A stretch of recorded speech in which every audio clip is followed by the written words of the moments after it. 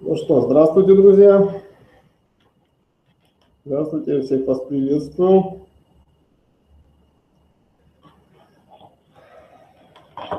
Начинаем работать. Давайте проверим, что да как. А, пожалуйста, в чате поставьте, как меня слышно, видно. Слышно, видно плюсики, пятерочки по пятибалльной шкале. Если у кого-то что-то нет, э, не работает, пишите. Итак, э, плюсики пошли, плюсики пошли. Здравствуйте, друзья, на связи Кузнецов Дмитрий, Академия юридической грамотности, Центр юридической защиты, компания Алям. Значит, наш сезон набирает обороты. Всем добрый вечер, друзья. Всем добрый вечер. Ну, давайте познакомимся. Я тут э, посмотрел, да, э, перед вебинаром регистрация есть из Дальнего Востока, из Сибири. Ребят, давайте напишите, пожалуйста, кому не лень, кто откуда. А я вам пока э, посмотрю, сколько у нас народу. Ой-ой-ой, почти тысяча человек. Во всяком случае, активно сейчас чате. Вот так вот наболело. Ну, я понимаю, что есть люди, кто меня уже давно знает. Сразу, сразу обращаюсь, ребят, а, к тем, кто меня знает, кто уже получает результаты. Просьба, чтобы не было предрассудков, не пишите в чате ничего. Я имею в виду тех, кто уже в курсе, что и как. Не надо писать, типа, доверьтесь, Дмитрий, все такое, не нужно, не надо, потому что это нехорошая практика, вас потом замучают э, вопросами. Я и так, э, собственно говоря, никогда на себе тельняшку не рву. Моя организация вполне успешно существует, и не первый год, и мне доказывать, что мы умеем работать и знаем, как это делается, не приходится. А вот, э, итак, я вас попросил бы, знаете, что сделать, ребят? А, напишите, кто откуда. Регион, город. А я посмотрю, а, как у нас сегодня с географией, кто собрался сегодня в чате, кому это интересно, кому может быть а, любопытно просто, а кто-то действительно измучился, измаялся и правильно для себя решил, скажем так, прийти Итак, а, пожалуйста, кто откуда, кому не трудно, напишите, пожалуйста. У нас сегодня две вебинарные комнаты. Как всегда, мы работаем в две а, комнаты трансляции. Я вижу в одной порядка 300 человек, в другой порядка ну, почти 800 человек. Ага, вот, активизировались уже. Здравствуйте, здравствуйте всем. А, итак, давайте а, посмотрим, кто откуда, кто с каких регионов. Угу. Да, народу действительно полно-полно. Вижу Дальний Восток, приветствую. Мой родной Владивосток, в котором я прожил 40 лет. Сейчас а, живу в Санкт-Петербурге и работаю здесь же. А, вот. А,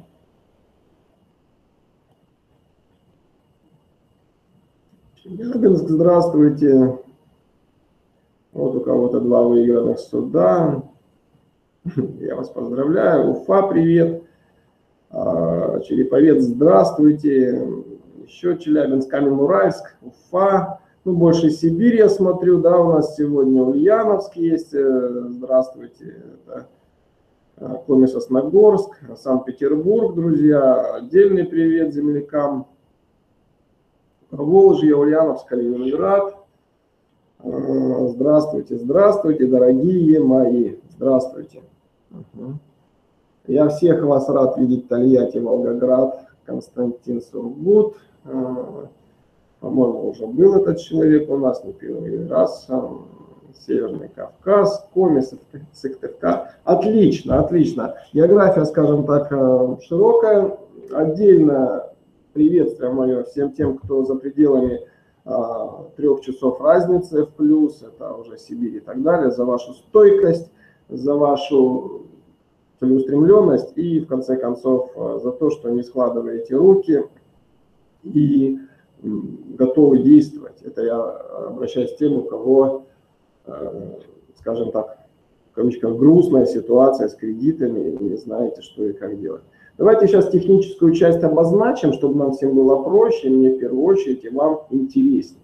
Ребят, а, чтобы у вас не было каких-то недопониманий, чат всегда запаздывает. То есть вы меня видите с 40 секундным, где-то с минутным опозданием. Так устроено специально, вот Украина даже есть, Харьков. А, так устроено специально, дорогие мои друзья, а, что ну, это противодействие всяким этим вот а, флуду, да, вот пишут же, насколько, как говорится, улан отдельный привет, у вас там ночь уже глубокая тоже, да, спасибо за выдержку.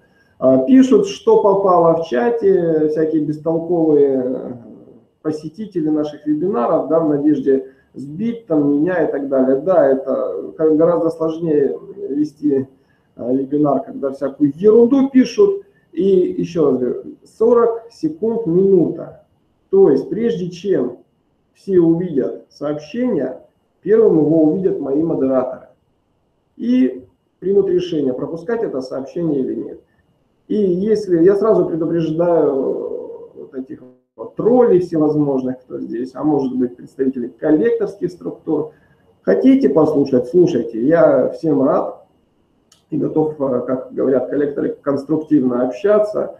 Э, грамотная критика всегда приветствуется, но если будет флут, если будет э, хамство, оскорбление любого рода, без предупреждения баним человека, то есть человек не будет ни больше возможностей у него вообще появиться на наших вебинарах, и он будет заблокирован автоматически во всех наших ресурсах. А, я имею в виду в группе ВКонтакте он удалится. Ну, там много моментов, да, ну, не нужны нам вот эти вот там, персонажи. То есть, еще раз, в двух словах, чат с запозданием, поэтому не пытайтесь, мы видим раньше всех чат и модерирует очень а, ну и в то же время для тех, кто недопонимает, почему вот э, писанина в чате отличается от воспроизводимого текста, еще а, такой есть момент, у каждого определенная скорость интернета, да, мы работаем в Google Hangout, и он достаточно хорошо передает сигнал, а у вас уже может быть задержка из-за скорости интернета. Поэтому а, может э, отличаться то, что я говорю, от э, текста в чате. Да. Но сразу еще раз, ребят, говорю, огромная просьба, Давайте, а, значит, чтобы было понятно и интересно всем, в чате не писать, а, что попало, даже ну, в формате нашей темы. Ясно, что флут мы удаляем, а вот э, не в тему моего повествования лучше не пишите. А, сразу говорю, лучше слушайте. Это гораздо интереснее, полезнее и, и легче воспринимается информация. Потому что одно дело сидеть и свои думки, мысли гонять, совершенно другое слушать меня, да. Я сейчас не претендую на звание гуру какого-то, да, просто я не первый вебинар и далеко не десятый вебинар провожу, и поверьте, с участниками вебинара не один час переговорил э, лично, я понимаю, что основной результат будет в том случае, если просто сидим и слушаем. Но это не означает, что мы не будем вообще писать ничего в чате. Чат для этого и существует.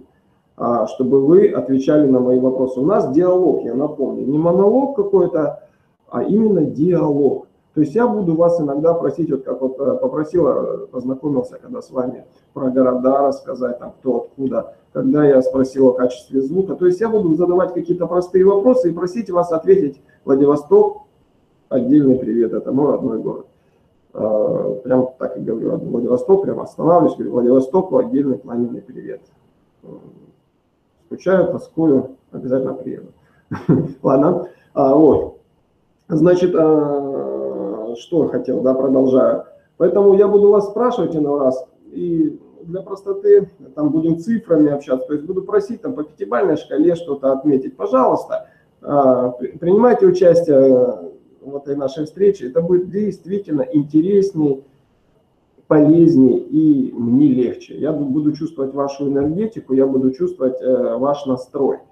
А, смотрите, э, что будет. Техническая часть пройдена, теперь мы должны по, расписанию пробежаться. Три дня. Кто-то, если не понял, это вот сегодня у нас где-то два часа с хвостиком мы поговорим.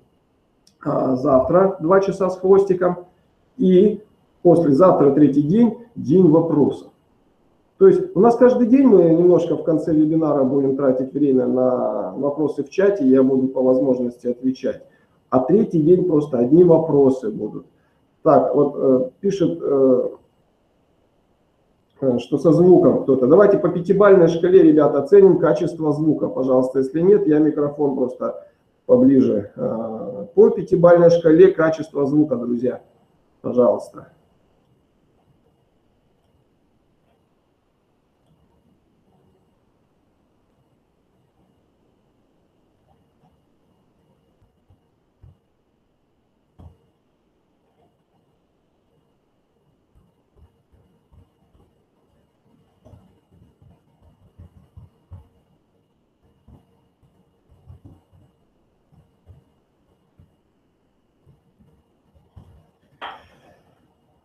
Так, ну вот видите, пятерочка, четверочка. Ну, еще раз повторю, все очень может быть так, что на вашей стороне что-то притормаживает. Вот если у кого-то идет гул, это 100% на вашей стороне. Это действительно ваши проблемки. Э, ребят, всегда рекомендую в наушниках. Если и в наушниках что-то, ну, что-то с вашими, может быть, динамики. Ну, вот смотрите, доказательства э, пятерок большинство, давайте вот э, сейчас я микрофончик поближе сюда. Ага, смотрите. Раз, два, три, раз, два, три. А, пожалуйста, как сейчас? А, поближе микрофончик, сейчас я повесил, звук отлично. Вот видите, все-таки так бывает, что на чьей-то стороне, вот на вашей, да. Ребят, ну, так или иначе, лишь бы не двойка, да, по звуку была и все. А здесь уже надо работать как есть. Ну, на 95% мы результат получаем отличный. Угу. Хорошо. Ну что, и теперь э, переходим к основным нашим э, моментам, вопросам. Э, дорогие мои, я хочу, я понимаю, что кто-то здесь из находящихся ребят уже не впервые со мной. Пожалуйста, пожалуйста, кто, мне сейчас нужно понять, кто впервые меня слышит, видит, поставьте, пожалуйста, ну давайте так, пятерку. А те, кто знаком с моей деятельностью, там, с канала YouTube, либо уже, может быть, э, на мастер-классах на наших бывал, там, или там, юридическая защита, пускай это будет четверка. Итак, а, кто впервые меня, пятерка, кто познакомиться пришел со мной, а кто меня знает а, хоть как-нибудь, слышал, видел, а, общался со мной, может быть, даже четверочка. Вот смотрите, не знаю, чему радоваться, я изо всех сил благодарю всех преданных, кто четверочки ставит, кому интересно, и я заранее вам благодарен за ту критику, которую вы всегда выкладываете в моих соцсетях для меня и все такое. Примерно, смотрите, сначала пятерки пошли, а потом четверочки. А, четверки это такие, ну, скажем, не совсем понятно. Кто-то действительно уже и клиент, и студент наших курсов, а кто-то партнер вообще, да, в регионах. И эти люди, я уже даже, я не знаю, не сидят, не ставят, потому что мы э, общаемся и так вживую по телефону все время. А, я приезжаю в командировки к этим ребятам, это отдельная история. Сегодня, кстати говоря, и завтра, и послезавтра мы о сотрудничестве обязательно будем разговаривать. Кстати говоря, кому интересно сотрудничество, сразу говорю, не бесплатно. Ребят, я понимаю ваш альтруистический наклон, а именно помогать людям, но вот не из этой позиции, а кто хочет зарабатывать по-настоящему хорошие денежки, не голословно. Я сейчас не коем случае не пытаюсь, э, э, скажем так, вам что-то продать, а я интригу вношу, а мне самому любопытно, потому что очень много в этот раз перед этим вебинаром было вопросов. Сотрудничество, сотрудничество, сотрудничество. Давайте цифру 10. Кому интересно сотрудничество с нами? Именно с точки зрения нормального, человеческого. А человеческое, на мой взгляд, это заработок. Заработок, хороший заработок. И, пожалуйста, э, ребят, это очень важно. Очень важно, потому что когда мне пишут, я, мне не нужны деньги, я хочу просто помогать людям, с такими людьми я даже не продолжаю диалог. Пока он мне не напишет, я ему пишу, только честно напишите, почему вы хотите с нами сотрудничать. И вот э, когда я вижу, что человек устал от безденежья, а либо ему надоела рутинная работа, и он хочет заниматься интересным делом и в то же время помогать людям, а это действительно важно, я не отрицаю этого, вот тогда мы включаемся в диалог и все остальное. Ну ладно, об этом мы будем немного позже разговаривать. Я сегодня презентую вам наш мастер-класс, который, э, это уже будет девятый поток, друзья мои. Девятый поток. А, вот, мы набираем студентов постоянно. Каждый поток минимум 100-200 человек. А, вот. И вот у нас уже девятый поток сегодня будет предложено вам. А, ну ладно, хорошо. Теперь, как я и говорил, от технической части мы перешли к расписанию, и мы понимаем, как будет выглядеть наша беседа сегодня, диалог. И все, переходим конкретно к ситуации. Было очень много вопросов. А до вебинара, как и всегда, меня это не удивляет. И были, э, мы сформировали, как всегда мы это делаем. И в очередной раз мы даже уже говорили со своими помощниками. Да не надо, Евгений, там вот этой ерундой заниматься, всегда людям одно и то же интересно. Но все же я честен перед своими э, зрителями, перед аудиторией, и я вас буду спрашивать. А, во-первых, я сейчас буду называть часто, самые часто встречающиеся темы, которые задавались в вопросах. И хочу от вас э, увидеть в чате, скажем так, реакцию. То есть какую реакцию? Надо нам это затрагивать сегодня или не нужно? Чтобы мы не тратили, а вдруг э, мы, э, допустим, не хотим этого делать. Итак, Самый основной вопрос. Коллекторы. Коллекторы. Что делать с коллекторами, как себя вести с коллекторами. Итак, кому интересно, ставим цифру 10. Кому интересна тема коллекторов, как с ними работать, что, на что они имеют право, на что не имеют права, э, как с ними вообще взаимодействовать и как это все публика устроена. Кстати говоря, сегодняшний вебинар будет э, немного по-другому преподнесен с точки зрения деятельности коллекторов, потому что 230 федеральный закон вступил в силу, очень много вопросов, и там изменилась деятельность коллекторов. Когда я раньше говорил, что коллектором может стать любой из вас, теперь все наоборот. Точнее, э, не, не так-то просто стать законным коллектором, да? хотя это немного меняет, но все же. Окей. Интересно. А, второй вопрос, который часто встречался. А, возврат комиссий, страховок, незаконных, незаконно удержанных. А, вот.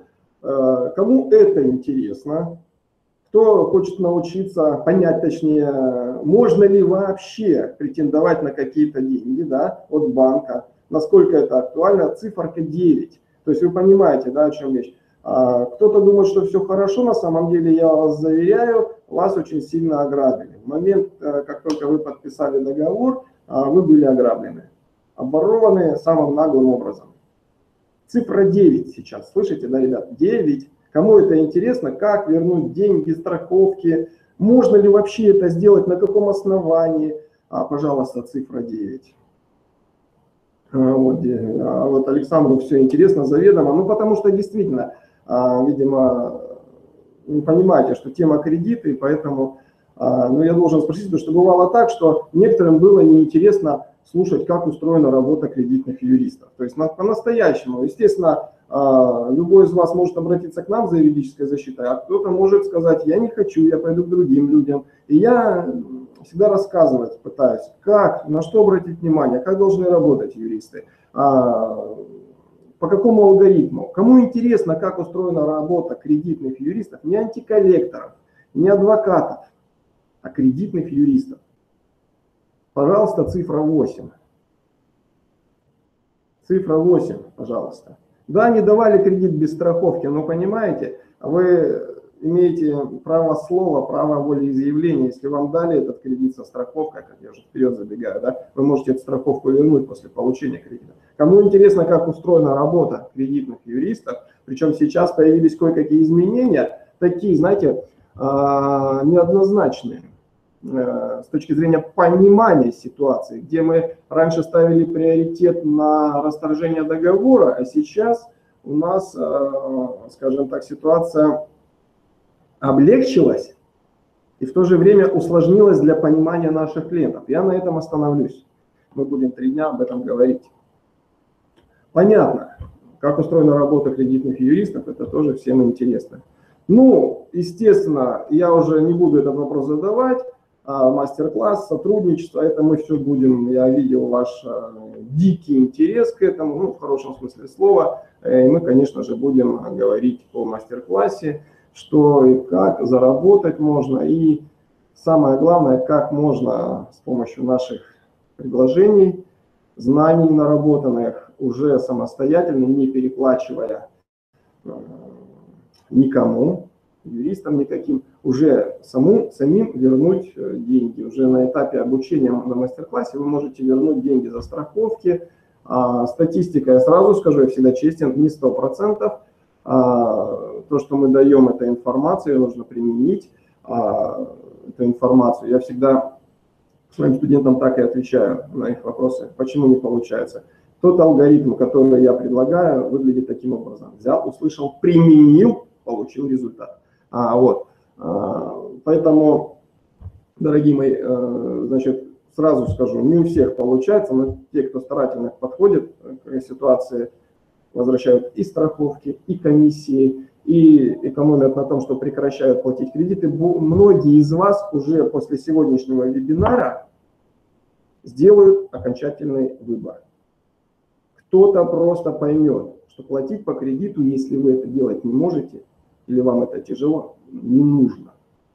Потому что вот у нас нет долговой тюрьмы в стране, у нас нет э, уголовной ответственности за это, хотя вам рассказывают все что угодно, на самом деле это очень-очень далеко от правды. Итак, э, хотелось бы опять понять от вас, э, увидеть ответ. Я вот всегда прошу по десятибальной шкале, где пятерочка – это средняя граница, ну, простите, средняя ось, и у кого состояние, то есть выше пятерки, это значит шестерка, семерка, ну понятно, да, а, ребят, у кого с коллекторами все нормально, то есть плевать на них мы хотели, да, типа вот пятерка это я не знаю, как с ними быть, шестерка э, я, значит, не беру трубку, примерно так, не общаюсь, э, семерка я э, вообще игнорирую, не переживаю, не думаю о них. Ну, восьмерка там я прикалываюсь, глумлюсь над ними, девятка, десятка я уже побил им рожи, морды там и готов это сделать. И вообще э, слово коллектор для меня синоним слова шут гороховый. А вот вниз 4, 3, 2, 1, это вот вы уже сами оцениваете, ну, где один вы готовы там к суициду. Извините, дорогие мои, но очень много вопросов э, такого характера, причем от мужиков. Что мне делать? Я готов к суициду. Итак, вот таким примерно образом я хотел бы посмотреть вашу реакцию да, а, на отношение к коллекторам. Ага. И вот, э, может быть, благодаря мне, а, моему каналу на YouTube. Может быть, благодаря тому, что люди, ну, скажем так, умнее, грамотнее становятся, уже стали к коллекторам относиться, скажем так, мягко говоря, легко. Легко и очень меня радует, что есть, э, преобладают цифры дальше пятерочки. Дальше пятерочки.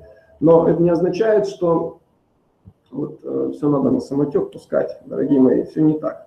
А нужно, скажем так, одно дело разговаривать с коллекторами, другое дело понимать, что и каким образом а, вообще происходит с их стороны и что от них можно ждать. Итак, а, давайте выясним. Ну, на основании 230 нашего федерального закона, как я и говорил уже, новый закон, который частично вступил в силу и полностью вступит с 1 января 2017 года в силу. Теперь уже нельзя утверждать, что коллектором может стать любой из вас.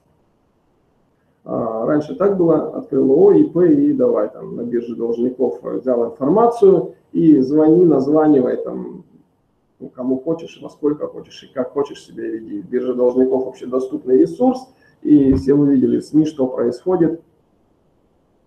Э, так, что с трансляцией? Э, давайте по пятибалльной шкале, что-то я увидел, что связь прервалась. У всех ли связь?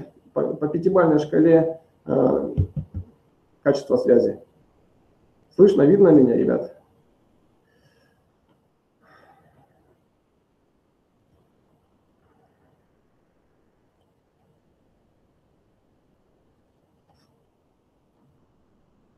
Все нормально. Значит, а, если у кого-то что-то не работает, просто перезагружайте страницу. Сразу говорю, если у кого-то что-то зависает, просто перезагружайте страничку. Отлично, работаем дальше. А, вот. А, значит, коллектором теперь может стать не каждый. Более того, теперь, скорее всего, прибавление в этом семействе в ближайшее время ожидать не придется. Дело в том, что чтобы быть зарегистрированным коллектором в законе, что называется, нужно как минимум иметь 10 миллионов. Многие из вас уже сталкивались с этими статьями, кто-то мои рассылки смотрит, читает, а, но голосом важнее определить. 10 а, миллионов должно быть на уставного капитала, плюс человек, простите, плюс организация должна застрахована быть на 10 миллионов еще своей деятельности. И там очень много критериев э, вести деятельность только с территории Российской Федерации, привлекать э, к работе только граждан России, э, резидентов, понятное дело, да, людей, имеющих гражданство Российской Федерации, иметь офис, сайт, электронную почту, живой офис, хочу подчеркнуть, и вот сейчас наш доблестный Тиньков со своим Фениксом а, нервно курит в сторонке, так как а, у Феникс это, ну, читай Тиньков, а у Тинькова как такового офиса нет. Ну, есть просто офис для корреспонденции, скажем так, а вот такого живого офиса а, нет. А, и в ближайшее время не знаю, что они там будут делать, но так или иначе, Феникс, кстати говоря, даже его не приняли в реестр а, коллекторских, то есть э, его даже там, к сожалению, нет, Феникса, всем известного на слуху. А, вот. Э, Людмила, про штрафные санкции мы будем говорить. Я напомню, те, кто, может быть, позже присоединился или пропустил, а, пожалуйста, не пишите в чате вне темы. Просто представьте себе, что вот я сейчас веду речь о коллекторах и начну резко говорить Людмиле о займах в МФО и так далее. И у нас получится винегрет. У нас получится набор каких-то фраз, и нормального, хорошего диалога не сложится. Поэтому наберитесь терпения, еще раз повторю, в конце каждого вебинара, каждого дня я буду оставлять время на ответы, чтобы ответить на некоторые вопросы. И в конце, уже третий день, это будет полностью у нас вопросы. Мы будем два часа, если понадобится чуть больше, будем заниматься э, ответами вот в чате на те вопросы, на которые, может быть, вы не получили в процессе вебинара понятного ответа. А вот, а, вот таким вот образом, да, это в двух словах самые основные моменты, которые вам нужно теперь знать о коллекторах, и вы можете совершенно спокойно у них требовать этой информации, прежде чем с ними вступить в переговоры, в диалог. Хотя сразу, да, вот категорично, если называть своими словами все, а, вот не имеют права, ой, вы не обязаны с ними вступать в диалог. Вот просто не обязаны. На основании закона 230 э, ФЗ они без вашего согласия не имеют права вам э, звонить вообще. Ну, то есть не хотите, точнее, почему не, не имеют? Они могут звонить, но вы не обязаны, сломя голову, бежать, поднимать руку. Что касается звонков третьим лицам, э, все, что им нужно сейчас по новому закону этим третьим лицам, да, сказать, что не желаем, чтобы вы больше нам звонили. Если они звонят на работу и сообщают вашу персональную информацию, то здесь а, это преступление. Это даже не должностное нарушение какое-то, не гражданский кодекс, это реально уголовная статья. Разглашение информации и так далее и тому подобное. Кому интересно, сегодня специально не буду заострять свое внимание, мне на работе хватает этих статей и все такое. Кому интересно, вы Яндекс, Google, пожалуйста, обращайте внимание на это. А я специально буду говорить человеческим языком, по минимуму применяя юридические термины, а уж тем более там ссылки на статьи какие-то а, и так далее. Да? То есть мы на мастер-классах на своих достаточно к этому внимания уделяем, ссылкам на статьи и так далее. Вот. Поэтому, если коллекторы звонят на работу вашим друзьям, знакомым, это, скорее всего, еще вот эти недобитки, да, вот пережитки, которые из тех вот, добиваются последние, там, из последних сил перед э, 1 января э, всевозможных там э, каких-то ну, бонусов, да. Дело в том, что коллектор как работает? Вот э, кто на YouTube был, да, э, знает меня с YouTube, тут недавно у меня был шедевральный ролик, да, то есть, э, как мне коллектор позвонил, ребят, он до сих пор мне названивает, но он действительно какой-то ну, не совсем понимает, что происходит. Он, он мне сегодня, вот, допустим, перед вебинаром за полчаса позвонил и начал мне какую-то ерунду чесать про, э, что он там женщина, переговоры ведет об оплате, посоветуйте, Дмитрий, как мне вести переговоры с ней, чтобы она... Ну, вот коллекторская масть, вот она вот такая не совсем с головой, что ли, дружит, либо я, может быть, не от мира сего не понимаю этих моментов. Но а, самое интересное, что они в большинстве случаев, вот эти звонари, считают себя правыми. И не из-за того, что они уверены в своей правоте, а из-за того, а, ой, простите, не из-за того, что они а, действительно подтверждают свою правоту какими-то конкретными аргументами, а из-за того, что они уверены в своей правоте просто на основании каких-то вот поверхностных знаний, которые им дают вот их работодатели. Да? Работодатели. Набирают коллекторы, как правило, а, ну, людей, скажем так, ущербных. А, ну, любой из вас, наверное, поймет, что идти вот на такую работу, причем за те деньги, которые а, им платят, ну, это ниже там достоинства любого человека. А как вы думаете, друзья мои, сколько получает коллектор? Зарплата какая у них? Вот ваше мнение там в чате напишите, кто как думает, э, сколько получает коллектор. Я просто знаю точную информацию. Ну, плюс-минус, конечно, там, но э, я вас поправлю реально, если кто-то напишет прям сильно другие цифры. Как вы думаете? Ага, вот, 15 тысяч, 20, дофига, кто-то пишет, 35, 15 тысяч, 15, 15, 12. Ребят, а, близко. Близко те, кто 15 написали. 15-18 тысяч. Никаких 35-50, это вот при удачном стечении обстоятельств, либо там какие-нибудь начальники смены, у них там бригадиры, я не знаю, получают. Вот. А теперь сами себе уже, ладно, не буду я вас просить в чате писать, задайте вопрос, может ли человек, обремененный хорошими знаниями, юридическими подковами по-настоящему, пойти на такую работу за такую зарплату. Я сегодня буду э, акцентировать ваше внимание как раз очень часто на тех вещах, о которых вы и сами знали, но почему-то забыли.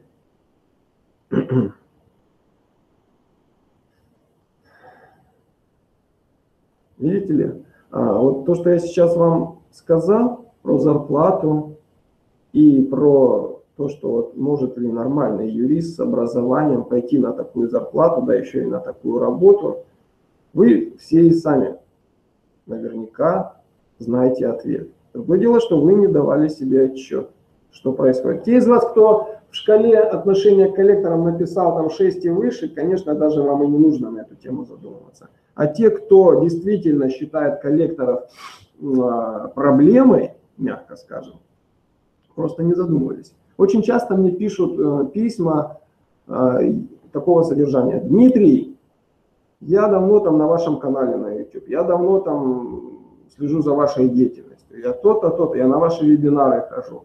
Ответьте, пожалуйста, на вопрос.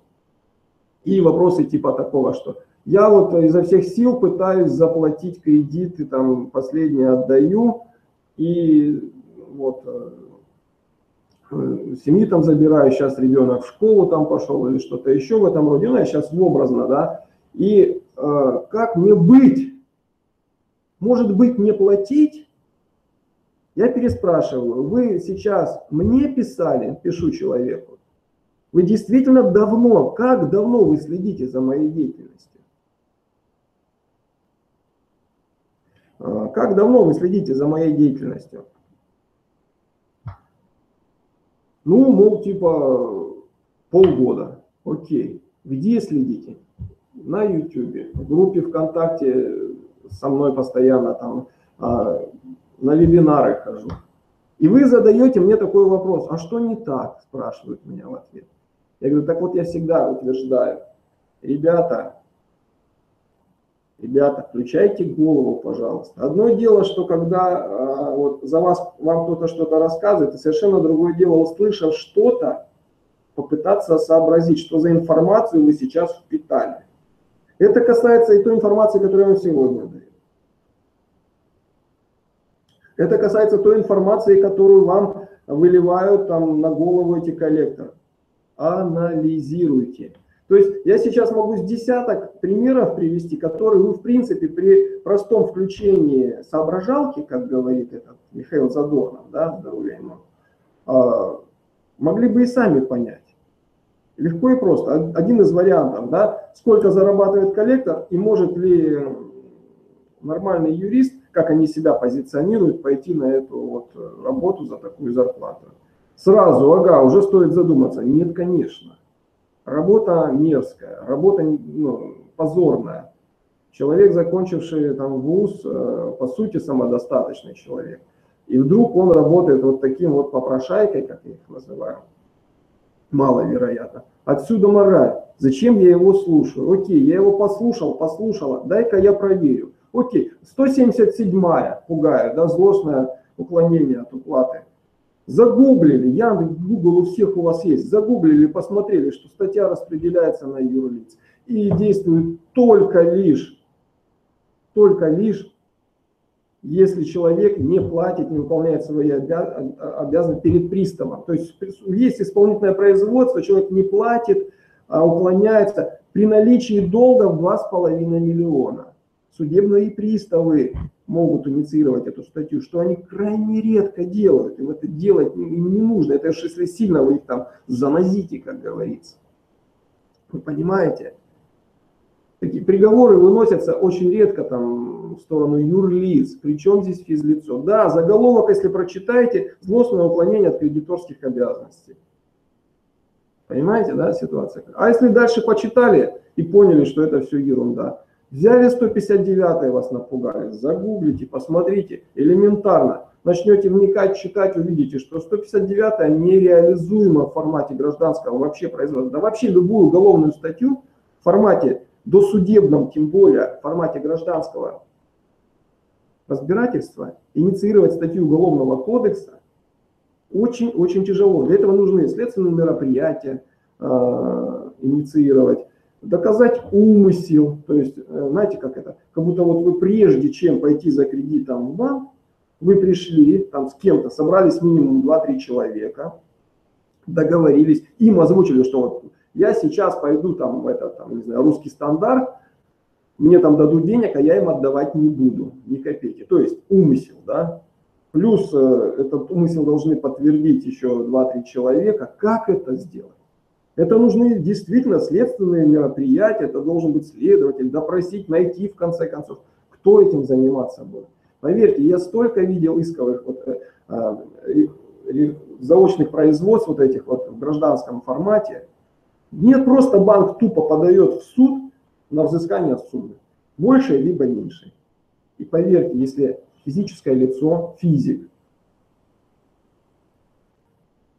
если физик грамотно себя ведет сам, либо с помощью юристов э, взаимодействует э, с судом, со своими взыскателями, то взыскать с него очень-очень тяжело. Практически нереально всю сумму. Всю даже заявленную сумму. Нет, а я хочу сразу сказать тем, кто подумал, можно взять и не отдавать. Я никогда так не говорил. Если взял, нужно отдавать. Но по мере своих сил и возможностей. Что судья, что судебный пристав в первую очередь должны смотреть не на сумму долга, а на возможности должника. Это очень-очень важно. Я надеюсь, вы уже поняли, дорогие мои, что на коллекторов вам вообще не нужно обращать внимание. Коллекторы существуют только лишь для того, чтобы в досудебном формате заработать себе денег и э, вогнать в нищету вас. Для них, для этого они эксплуатируют очень серьезные там, инструменты, психологическое давление проверенное уже, но все же зависит от вас, друзья. Если вы будете поддаваться э, бездумно на эту всю авантюру, то, конечно же, вы будете относить деньги в банк. В банк они говорят, вы понесете, а не коллекторам. Коллекторы на этом очень сильно напрягают. Я же вас не прошу мне заплатить, заплатите банкирам. Ребят, как происходит взаимодействие банкиров с коллекторами? Вот сначала появляется, на, давайте с самого совсем начала. Существует так называемая э, биржа должников. А это сайт, обычный ресурс. А, доказать причастность этого сайта к банкам нереально, как и любого другого сайта кому-либо. Да? Кто-то его зарегистрировал, естественно. Он не регистрируется конкретно на четкий конкретный банк и все остальное. Но туда выкладывается самими банкирами информация о людях, которые там, допускают просрочки. Он называется биржа должников. Любой из вас, не обязательно коллектор, может зарегистрироваться при определенной доле умения на таком сайте и совершенно спокойно получить информацию о должниках. Просто регистрация, бесплатная. После чего, связавшись там с правообладателем долга, выписав к себе там информацию о этих должниках, совершенно спокойно начать прощупывать этого должника. Не, не собственно, не надо думать, что ваш, раз вам позвонили, то ваш долг кто-то купил. Это делается ну, вообще в крайне редких случаях. Крайне-крайне редко это делается, что выкупаются долги, об этом я буду отдельно разговаривать. Как правило, тот самый агентский договор, который даже когда вы получаете первый звонок, там даже этого агентского договора нет. Просто идет прощупывание на предмет э, понимания целесообразности работы с вами, как с должником платежеспособным. Но тут платежеспособность не подразумевается только лишь э, толщиной вашего кошелька, а она тут подразумевается в контексте вашей психики. психики. Можно ли с вами работать на предмет управления вами? А, первые звонки очень важны. Когда вы начинаете допускать просрочки, очень важны первые звонки вам от коллектора. Не имеет значения, банкир это звонит коллектор, вы не обязаны, запомните одну простую вещь. Ни один закон не обязывает вас общаться с ними. А даже в том же договоре написано, да, что либо устно, либо письменно. Либо если в этих э, ситуациях не достигли договоренности, тогда в суде. А вот. Не хотите устно общаться, общаемся письменно. Вот и все. А не хотите и устно, и письменно, ребята, значит, ваша дорога, вы говорите этим там, банкирам, на три буквы, как я люблю говорить, посередине суд. И все, и вы в правовом поле остаетесь, что характерно. Что бы они вам ни говорили, конечно, кто-то из вас скажет, вам, Дмитрий, легче, вы там юрист, вы все понимаете. Ребят, я вам сейчас вот эти вещи говорю, а ваше право, ваше дело уже довериться этому и попробовать. Многие из вас уже сегодня, завтра начнут пробовать разговаривать с коллекторами, там, помощь вам совершенно бесплатно мой канал на YouTube. Наслаждайтесь, э, получайте, как говорится, опыт, как многие другие уже получили. И ни один еще не разочаровался, ни один человек не сказал, что это не работает. Все говорят, что это круто работает и доставляет гору удовольствия а, тем, кто так себя вести начинает. Вот, поэтому вы имеете право с ними вообще не общаться, если не хотите. Если вдруг а, по какой-то там а, невероятному стечению обстоятельств, вопреки вашего желания, они с вами все-таки связались, вы говорите с ними так, как вам хочется, выбирайте тон общения любой с ними. Хотите деловой, хотите вульгарный, хотите вообще хамский. Они, запомните, они вам позвонили, они вы им. И вы вправе выбирать формат общения. На моем канале в YouTube это все где-то возведено в ранг шутки иной раз. Вообще там за границами, может быть, моральных норм. Но если вдуматься, в очередной раз включить голову, везде четкий конкретный пример, а, что они могут, точнее, что они не могут, и что вы можете. Поверьте. А, я такой же, как и вы. Если кто-то меня не знает, да, впервые видит, я не всегда кредитами занимался, я был, э, ну, многие уже со мной знакомы, расскажу так для некоторых. А, я юрист, но я таможней занимался. И до 2010 года это совершенно никаким боком не проходило э, по юридическим э, части, и я так же, как и многие из вас, был в кредитах. Понимаете, работа юриста, она с чем-то, я люблю проводить аналогии с медициной, почему-то вот очень похоже в отношении к людям, э, в отношении к людям, в отношении по отношению вообще к ситуации вот к этой, да, очень хорошее сравнение с медициной.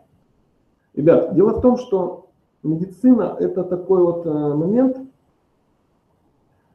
э, как бы вам сказать, там либо ты уровень фельдшера имеешь, да, можешь там знать чуть-чуть всего на уровне там перевязать рану, где-то там вправить перелом, либо ты специалист, э, скажем так, специального направления. Также в юризме у нас, да, то есть я занимался там таможней, спецтехникой и так далее э, и тому подобное, да, и так же, как и вы, друзья мои, э, я алчный человек, ничего это стесняться, я не ханжа, я заявляю, да, что я алчный, мне нужны деньги, у меня семья, я люблю жить лучше, чем там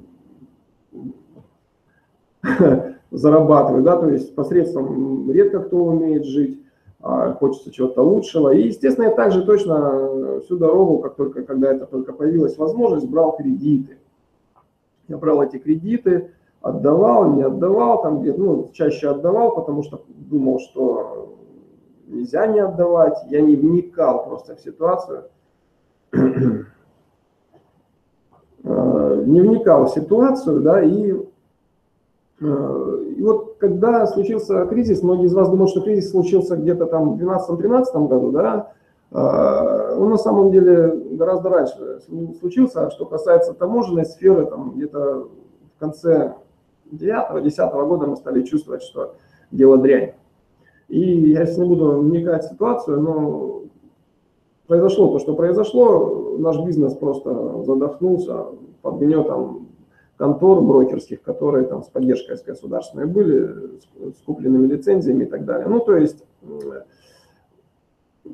приключилась такая, знаете, заднее место с нашим бизнесом, и я э, был вынужден вплоть до того, что даже в такси пошел работать, продал там дорогую машину, купил попроще, и пятое, десятое.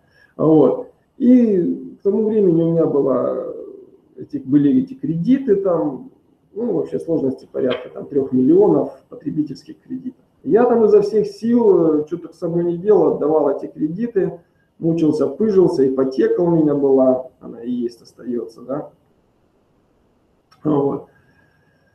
А, и, в общем, перекредитовался. Ну, я сейчас историю рассказываю, похожую на, многие, на многих вас, чтобы вы понимали. И один прекрасный день я просто не то чтобы задумался, я остановился, да, это вот истерика, вот эта финансовая, кредитная истерика ее называю, когда утром просыпаешься с одними мыслями, ложишься с такими же мыслями, живешь с такими же мыслями, а, многие из вас, да, наверное, зубы утром чистят, а щеткой без пасты, там, потому что забыли просто мысли какие-то, либо пересаливают еду, либо там, я не знаю, выходят из дома, забыв Э, не знаю, что-то там, потому что мысли постоянно крутятся вокруг вот этих вот кредитов, где взять денег. Тут еще коллекторы названивают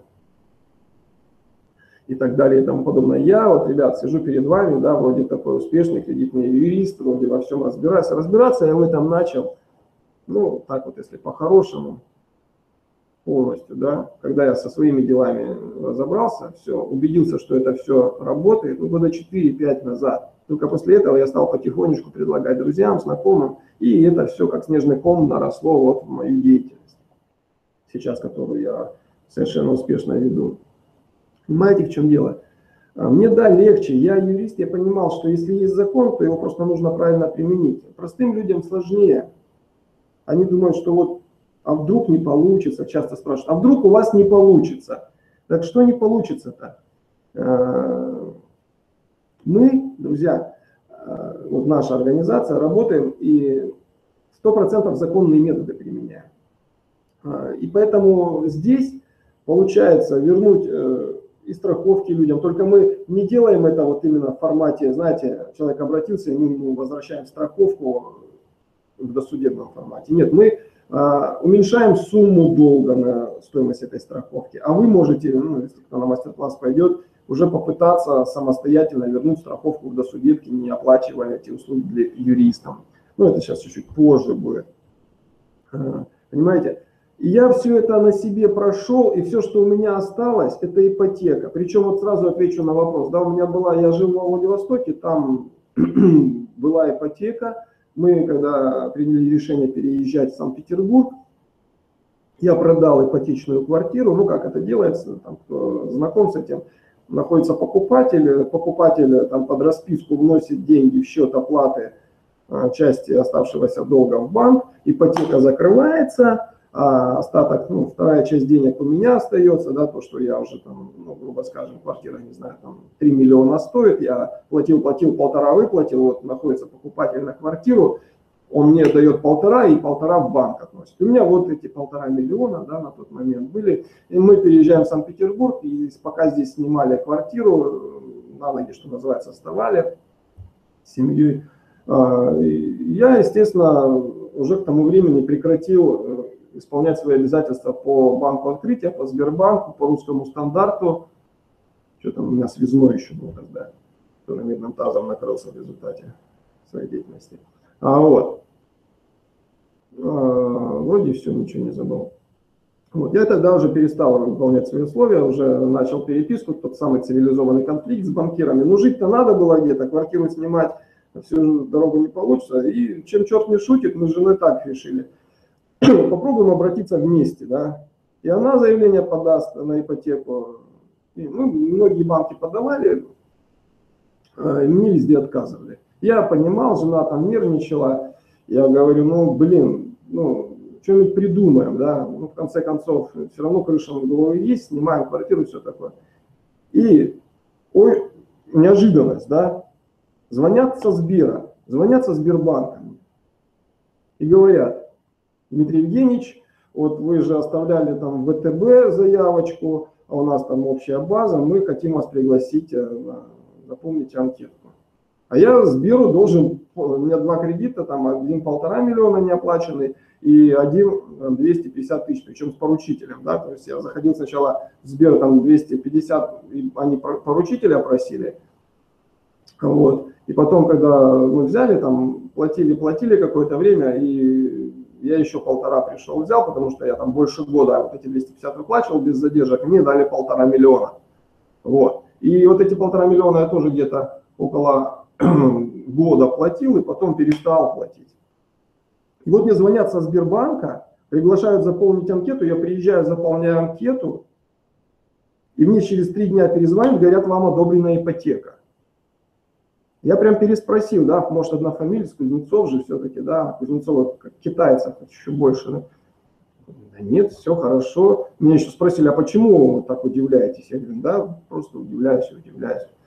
Ага, все, первый взнос есть, ипотека, все, я взял эту ипотеку, потому что понимаю, что из всех вот этих кредитов более или менее, э, скажем так, нужные все-таки как бы не то чтобы востребованный, а необходимый продукт, это, конечно, ипотека, потому что накопить сразу там 5-10 миллионов ну, не всегда получается, а вот а ипотека этот момент, э, как говорится, сглаживает. И то нужно как следует задумываться над этим, да, свои силы рассчитывать. Вот. Это ответ на вопрос тем, кто не знает, как делать, дадут ли потом кредит. И уже вот буквально меньше года назад, поверьте, у меня на двери, там, я сижу у себя на работе, стучаться в дверь. Здравствуйте, Дмитрий Евгеньевич. У меня тут сотрудник э, сидит со мной, мы там другого на работу принимаем. Можно там? Ну, можно. А что такое? Проходит, представляется, кладет визитку Ситибанк. Вот я там прошел, э, вы а, подавали заявление на открытие расчетного счета на юрлицо, а я в Ситибанк подавал, они мне, ну, как бы я подал, не стал ждать результат, потому что мне в Альфа-банке быстрее предложили открыть счет, подешевле, выгоднее, и они ко мне. А, вот. Приходит, я говорю, да, ну, здрасте. И он мне тоже говорит, мы хотим вам как физлицу кредит предложить. Не буду долго затягивать, но он сел при мне на iPad на своем, там, на планшете, проверил мою кредитную историю, говорит, все нормально у вас? Я сижу на него, смотрю, что, правда нормально? Он, да, нормально. Говорит, почему вы спрашиваете? Я говорю, да просто.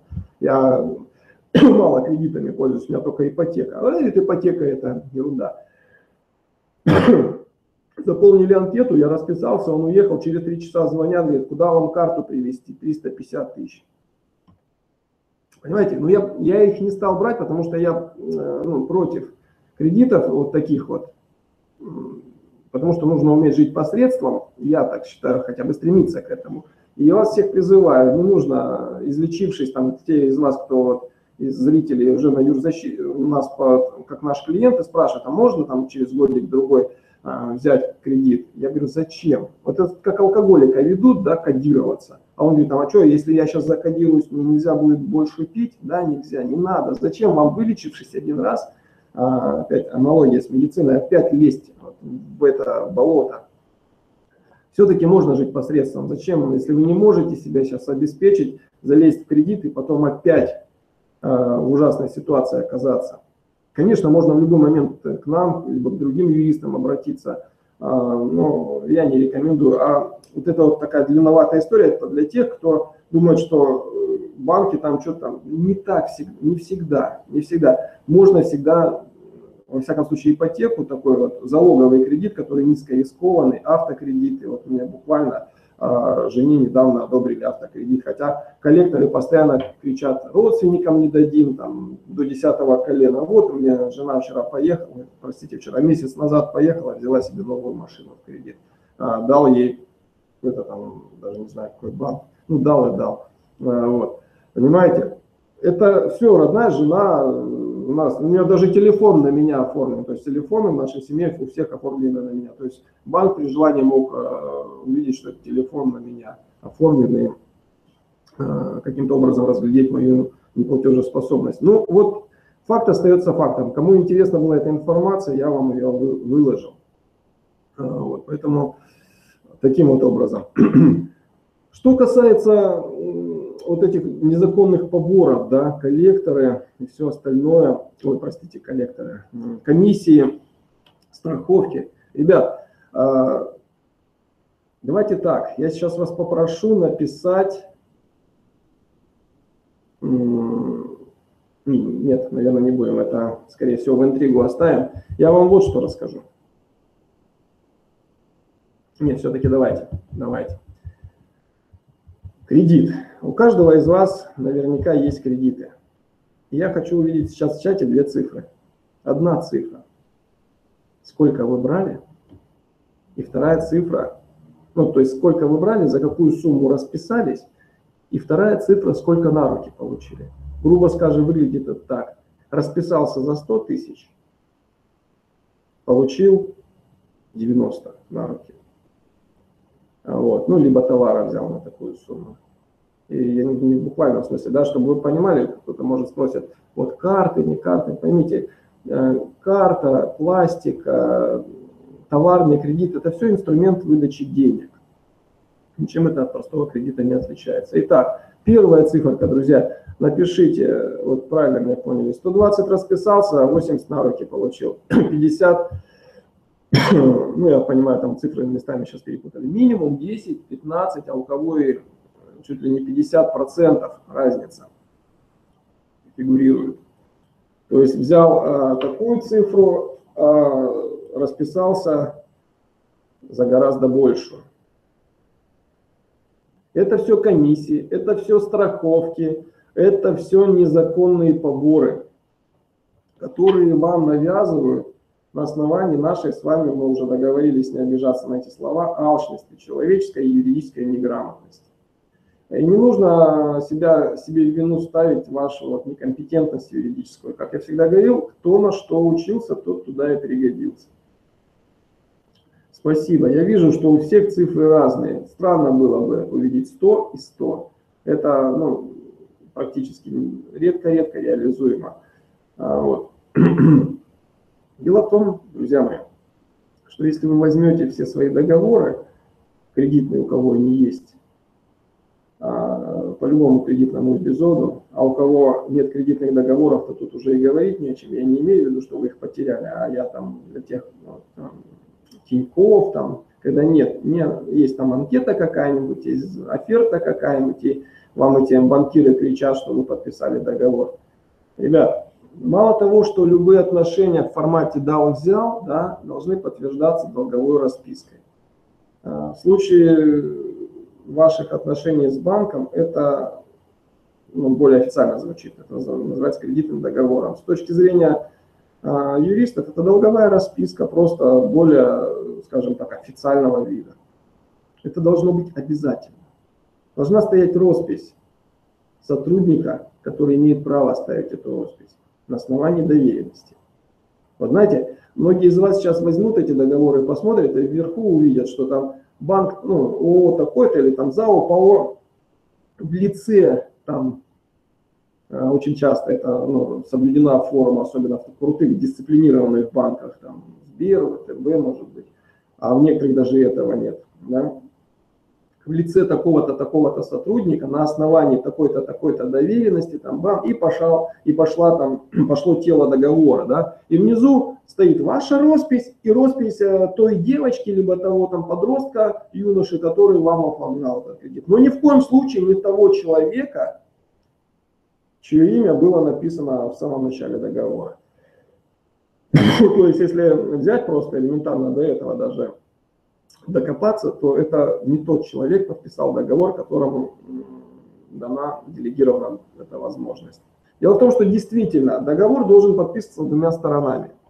Тем, кто получает займ, и тем, кто его выдает.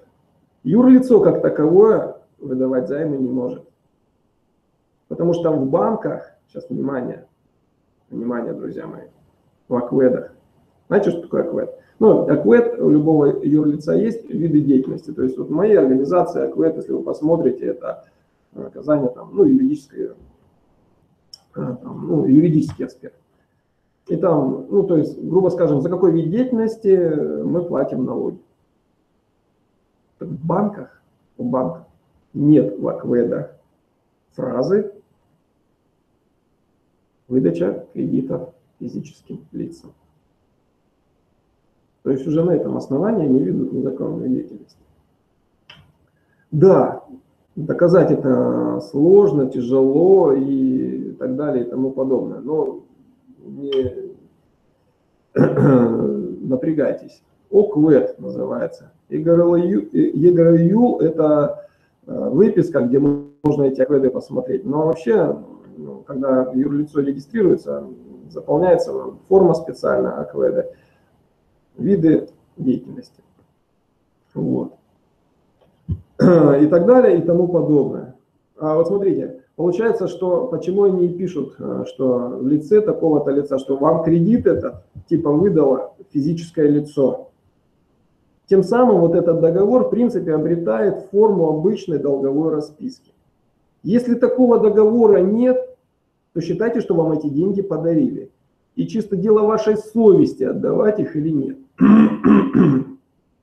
Видите ли, давайте так вот, эм, я вот всегда говорил и говорю, что я буду выдавать информацию, которая вам в принципе может быть где-то издалека, но известна.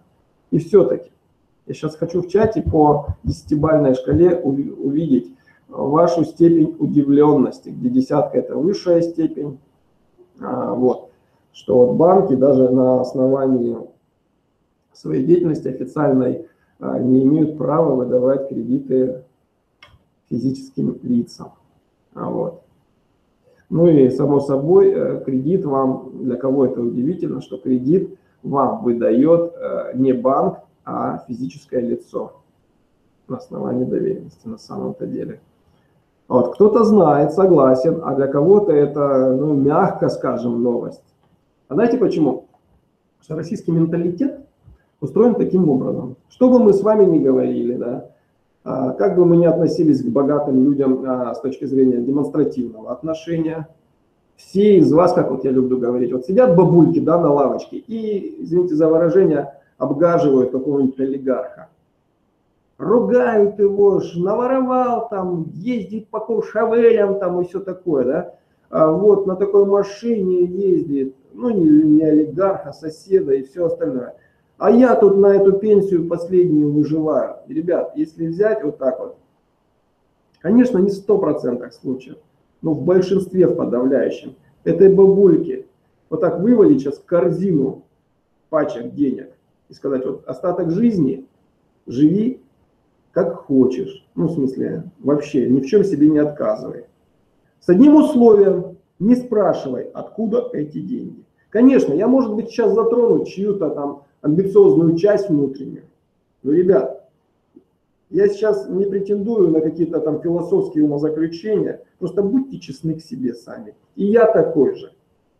Но дело в том, что я не ругаю олигархов, олигархов, этих вот богатых людей, по-настоящему богатых, но и в то же время я им не завидую.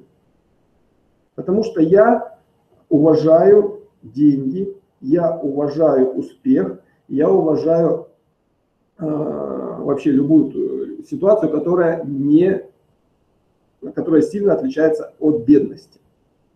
Видите ли? Вот такая моя позиция. Я сейчас не навязываю вам ее, я честно с вами откровенно ей делюсь. Я люблю жить так, как мне хочется. Я люблю смотреть на своего ребенка, который а, может себе позволить а, купить какую-то вещь дорогую, красивую. Мне нравится, когда моя жена а, выглядит хорошо, и многим из вас тоже так же хочется. Но я же почему это говорю? Дело в том, что, а, еще раз говорю, менталитет российского человека устроен именно так. Вот если вы сидите, видите там богатого человека, и у вас пока вроде все нормально, ну не вы буквально, ребят, поймите верно, а, ну, в большинстве случаев вот жертвы кредитного вот этого вот давления, да, я про таких людей говорю. И допустим, э, вот все у вас нормально, вы живете в своем там течении, сильно отличающемся от течения того же олигарха, и вдруг что-то случилось, вам нужны деньги. Вы идете, а, вы сразу э, свое отношение где-то на подсознательном уровне меняете к этому человеку, потому что сразу допускаете возможность, что вы у него можете денег перехватить, взять. В нашем с вами случае существует банк, когда мы можем прийти в банк и там на цыпочках попросить у него денежки. Чувствуя себя заведомо, вот тут начинается уже программирование, зомбирование вас. А, вы уже, зайдя в банк, а, воспринимаете всю вот эту публику, которая там находится, пускай они там младше вас, дурнее вас. Вы сейчас об этом не думаете. Вы э, испытываете к ним сладострастное, сладострастное такое уважение, потому что а вдруг они вам помогут. И вдруг, о чудо, вам дают деньги, и ваша проблема а, вроде как закрыта. То есть э, из плохого жизненного обстоятельства вы переместились в хорошее. То есть даже не улучшилось по сравнению с тем, что было, а просто даже стало так, как было. Ну, вроде как комфортно. а, вроде все как комфортно, да, и так далее и тому подобное. Ага. И все, начали. И вы уже там уже ну, не то что благодарны, а до первого месяца вы ему благодарны, потом начинаются платежи, надо отдавать, уже начинаются какие-то там дискомфортные отношения. И не дай бог, друзья мои, вам а, вдруг, а, ну, скажем так, попасть в ситуацию, когда вы не можете платить. Что происходит с очень, очень многими людьми? Все, вы начинаете себя чувствовать ниже плинтуса. Вы должны этому богатому человеку, и все, уже и неприязнь там есть, и страх, и отсутствие логического рассуждения, и, и все, все, все, вот, вот такой клубок, и человеческий мозг не может справиться. И вот, как говорил Наполеон, легче всего управлять испуганной массой людей. Что и происходит. То есть вы зашли в банк, и вас начинают зомбировать. А потом вам звонит коллектор и умными заученными фразами, которых которые им преподают на их стажировках, начинают вас добивать, долбить. И вы вместо того, чтобы отнести денежку сыну, дочери, себе, в конце концов, в семью принести что-то вкусненькое, несете в клювике в банк. И знаете, что там происходит? Вот с этой вашей тысячей. Это сейчас я для тех информацию выдаю, кто думает, что вот вам звонят коллекторы, да, надо отнести и там что-то там произойдет. Итак, когда в отношении вас, то есть вас прощупали, помните, я говорил, прощупывают на предмет продолжения общения с вами. Если вы а, повелись, то есть если вы проявили ту реакцию, которую от вас ждали, забоялись, испугались, начали там а, чуть ли не прощения просить, либо ну, пошли на контакт с этим коллектором, то есть э, по его выгодному для него сценарию стали себя вести, и в итоге оплатили, все, вы их клиент. А, раз-два там для теста оплатили, все отлично. Клиент в этом случае, они уже тогда заключают агентский договор с банком. Что это такое? Заключение агентского договора – это просто шаблон. Они закрепляют отношения. Закрепляют отношения в отношении вас, как должника, с банком. И теперь там существует программное обеспечение, в буквальном смысле программа, которая определенным образом там законнекчена, сконнекчена с вашим счетом, с счетом коллектора. И вот вы приносите, как коллектор говорит, вы же не мне несете эти деньги, вы несете в банк. Да, вы несете в банк эти деньги. Только туда сумма падает, программа четко сразу срабатывает. Какая-то часть идет коллектором, какая-то остается в банке. И вот то, что остается в банке, ребята, то, что остается в банке и расписывается на штрафы, на проценты и в последнюю очередь на тело кредита. А теперь как вы думаете, какая пропорция? Что уходит коллекторам и что остается вам? Пожалуйста, напишите в чате, как вы думаете. Может, кто знает точно, Просьба, те, кто был на моих вебинарах, не открывайте тайну. То, что вы знаете, пожалуйста, не пишите. Я сейчас обращаюсь к тем, кто вот не в курсе этой пропорции. Как вы думаете, сколько уходит коллекторам с вашей денежки, а сколько остается, скажем так, ну, грубо у вас на счету? Что это тоже очень-очень спорно. 90-10. То есть 10 э, коллекторам, 90, 50 на 50.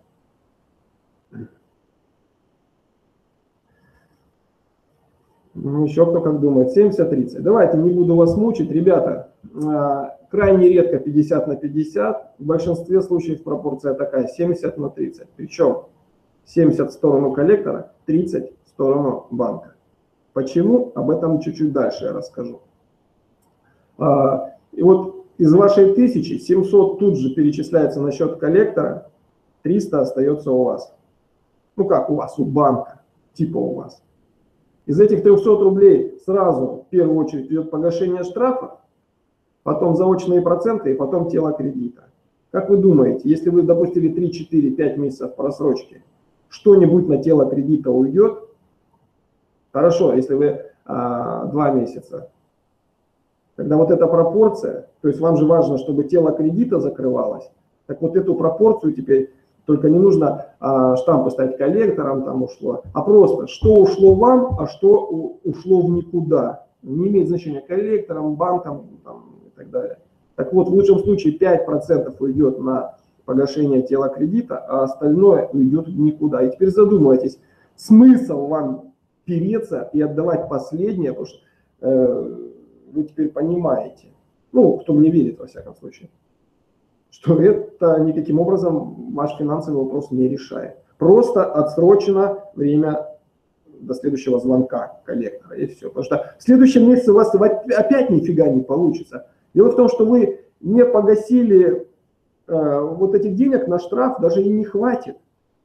Эти штрафы опять как снежный ком накатываются, и вы вроде говорите, да я каждый месяц теперь, я вошел в график, я плачу каждый месяц. И когда вы говорите, а теперь я хочу узнать, сколько мне осталось, и вам говорят, что там больше, чем было. Дело в том, что штрафы-то продолжают накручиваться, но это виртуальные штрафы, ребята. Эти виртуальные штрафы, ну, их очень мало шансов а, превратиться в настоящую претензию официально на уровне закона. Об этом чуть-чуть дальше. Вот таким вот образом. Здесь додумывайте сами. Может быть, действительно благотворительностью лучше заниматься вот в этих минимальных масштабах. Вот если тысячу у вас есть, не бегите, если она вам недорога, если она у вас вообще такая, не нужна она вам. Не везите, не несите ее в банк. Лучше вы пойдите там в храм нищим отдайте, в детский дом отнесите. Понимаете? Все лучше можно воспользоваться какими-то нашими услугами. Вот это полезнее будет, да, потому что вы знаете, да, мы помимо бесплатных вебинаров продаем продукты от мастер-класса, у нас сегодня будет предложение по мастер-классу, а, тоже шикарное с точки зрения стоимости и получаемой услуги. Вот лучше по делу деньги потратить, для себя, пользу самому себе. Не булочку купить какую-то там, а действительно что-то сделать такое, из чего эти деньги, эта тысяча превратится в какие-то более ощутимые цифры в самом ближайшем будущем. Понимаете? Вот. Что касается вот и эти страховки, вот эти комиссии, понимаете, дело не так однобоко. Вы тоже можете это все возвращать, вернуть себе. То есть, если с вас уже что-то там ободрали, либо вы при получении кредита вот такую дикую разницу увидели, да, в понятии, взяли столько а, получили вот столько, расписали за такую сумму, а получили совершенно другую сумму, это все можно возвращать. Мы этому, кстати говоря, вот э, мы приблизились очень так э, аккуратненько к мастер-классу, да, э, это тем, кому интересно было сотрудничество. То есть, что такое наш мастер-класс? Мастер-класс – это учебное мероприятие, состоящее оно официально из 10 недель обучения. А, ну, на самом деле, бессрочно. Там существует три ступени, три э, программы, что ли, как угодно назовите, да. Это, скажем так, три тарифа, вот так правильно, да, тариф пробный, тариф специальный и тариф свой офис, да. Ну, знаете, названия, они сами по себе. Мы уже вот э, девятый поток набираем совершенно успешно и очень-очень даже у многих э, скажем так, осадок положительный после этих прохождений. А, во всяком случае, то, что вы можете, это в двух словах. Ну, во-первых, а, тариф пробный позволит вам уже на этапе досудебного разбирательства, то есть самостоятельно, без обращения к юристам, попытаться, и в большинстве случаев, ну, статистика такая, где-то 50, где-то 70 процентов а, наших студентов возвращают страховки. Вот эти вот самые разницы цифр, которые вы сейчас написали, уже можно вернуть. На мой взгляд, даже не это самое главное, а главнее другое, что ни один из наших студентов, во всяком случае тех, с кем я общаюсь, да, ну, уже лично, да, не продолжает платить в банк. То есть э, те из вас, кто пришел на сегодняшний вебинар, в какой-то степени уже заинтересованы в этом, просто не знают, может быть, как это сделать. Кто-то просто из любопытства, кто-то из жадности себе лучше для себя, для любимого, и здесь ничего плохого нет, алчность наша, а, эгоизм такой цивилизованный, да. А кто-то вообще реально э, до сегодняшнего вебинара не знал, как себя вести, собирался там там, ну, понятно, не буду, да, озвучивать.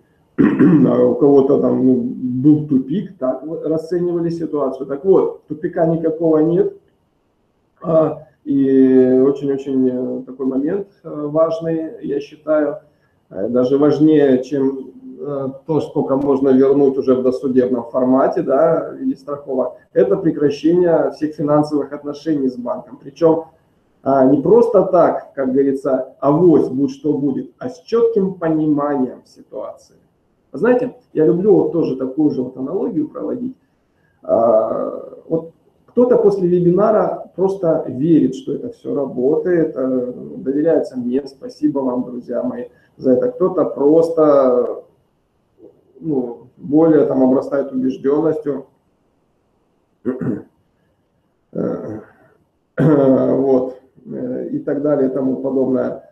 Э, видите ли, ситуация какая?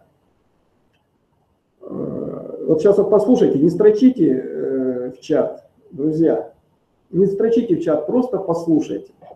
Очень важно, сейчас важная информация. Я просто не хочу, чтобы вы восприняли ее неправильно. Не с точки зрения, что я вот сейчас тут пытаюсь что-то продать. Нет, по большому счету и это есть, и еще раз говорю, что все у нас вокруг денег крутится. Но вот я сейчас, э, что я сделал для начала, чтобы было ну, попонятнее, что ли. Э, я сейчас вывел, так, должно сейчас появиться у вас под моим видео, сейчас сделайте так, чтобы видео мое было, ну, не на, не на весь экран, а стандартно, чтобы чат было видно, и вы увидите э, предложение. Да? Э, значит, тут все просто. Ничего бесплатного не бывает, и мы действительно даем информацию, которая стоит этих денег. И вот на тарифе пробный перейдите, нажмите на кнопочку, да, а, ничего не произойдет, никто с вас ни с каких денег не снимет, просто нажмите на кнопочку «Забираю скидку», зелененькая кнопочка, да, и вы увидите, что 23 ноября у нас уже девятый поток стартует, мастер-класс. 19.00 он будет э, по московскому времени. Естественно, для тех, кто э, никому неудобно, это все в записи будет выдаваться. Что мы дадим вам, да?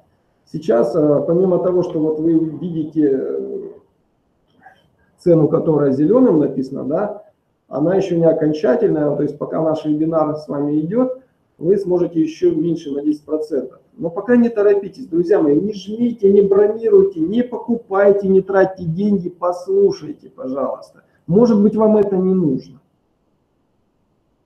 Вот. Давайте, хорошо? У всех появилось? Таймер такой появился, да, воспользоваться скидкой. Я сейчас э, просто хочу, ну, скажем так, от души вам правильно все, чтобы вы поняли. Не купите ради бога. Ну, останетесь в той ситуации, в которой были. Может быть, кто-то не захочет, может, пойдет под юридическую защиту. Окей, появилось, я вижу плюсики, да, появилось. Ребят, послушайте, не жмите никуда, не торопитесь, не надо ничего сейчас покупать. Я в двух словах скажу, что вы получите за эти деньги, а вы уже решаете, стоит оно этого или нет. И даже если никто из вас ничего не купит, я буду считать, что наш вебинар имеет свою силу, потому что многие из вас уйдут окрыленными просто от той информации, которую уже сейчас вы получаете совершенно бесплатно, да даже вот на YouTube совершенно бесплатно выкладывается, и очень многие, я знаю, а, разобрались со своей головой в первую очередь, со своей внутренним душевным дискомфортом. И это уже это доказывает то, что я не только на деньги веденный, когда да, говорят, ну, на деньги, все ради денег. Да, ради денег, но а, мастер-класс буду проводить лично я, а мое время тоже денег стоит. И, понятное дело, здесь без пафоса не обойтись. Чем больше у меня будет положительных отзывов, хороших, добрых, тем лучше мне самому будет житься. И вот этот э, мастер-класс, он подразумевает э, и также партнерские отношения. Но существует тариф пробный, дорогие мои, и без него никуда. Он стоит э, вот, три с половиной тысячи, да, и, ой, простите, 3150 рублей, и еще если со скидкой его покупать, то еще дешевле будет. Но это только вот а, пока вебинар наш идет, пока вот вы через сайт можете купить, еще и дешевле, да, можно сделать. А, и вы уже сможете на этапе тарифа пробный, ну, во-первых, тариф пробный, он несет в себе не сколько информационную нагрузку, а сколько переворот сознания. Помните, когда я говорил верить, вот сейчас вот кто-то из вас верит да, в ситуацию, уверился, а чувствуете разницу? Верить и знать, что это работает. Вот я знаю, что это работает, я не просто верю. Сначала, да, я а, где-то поверил, потом разобрался, и теперь я знаю, да, я знаю чувствуете разницу. Вы идете там, кто-то, как я тоже люблю на всех, ну, просто такой очевидный момент, да, чтобы вы поняли, в чем разница.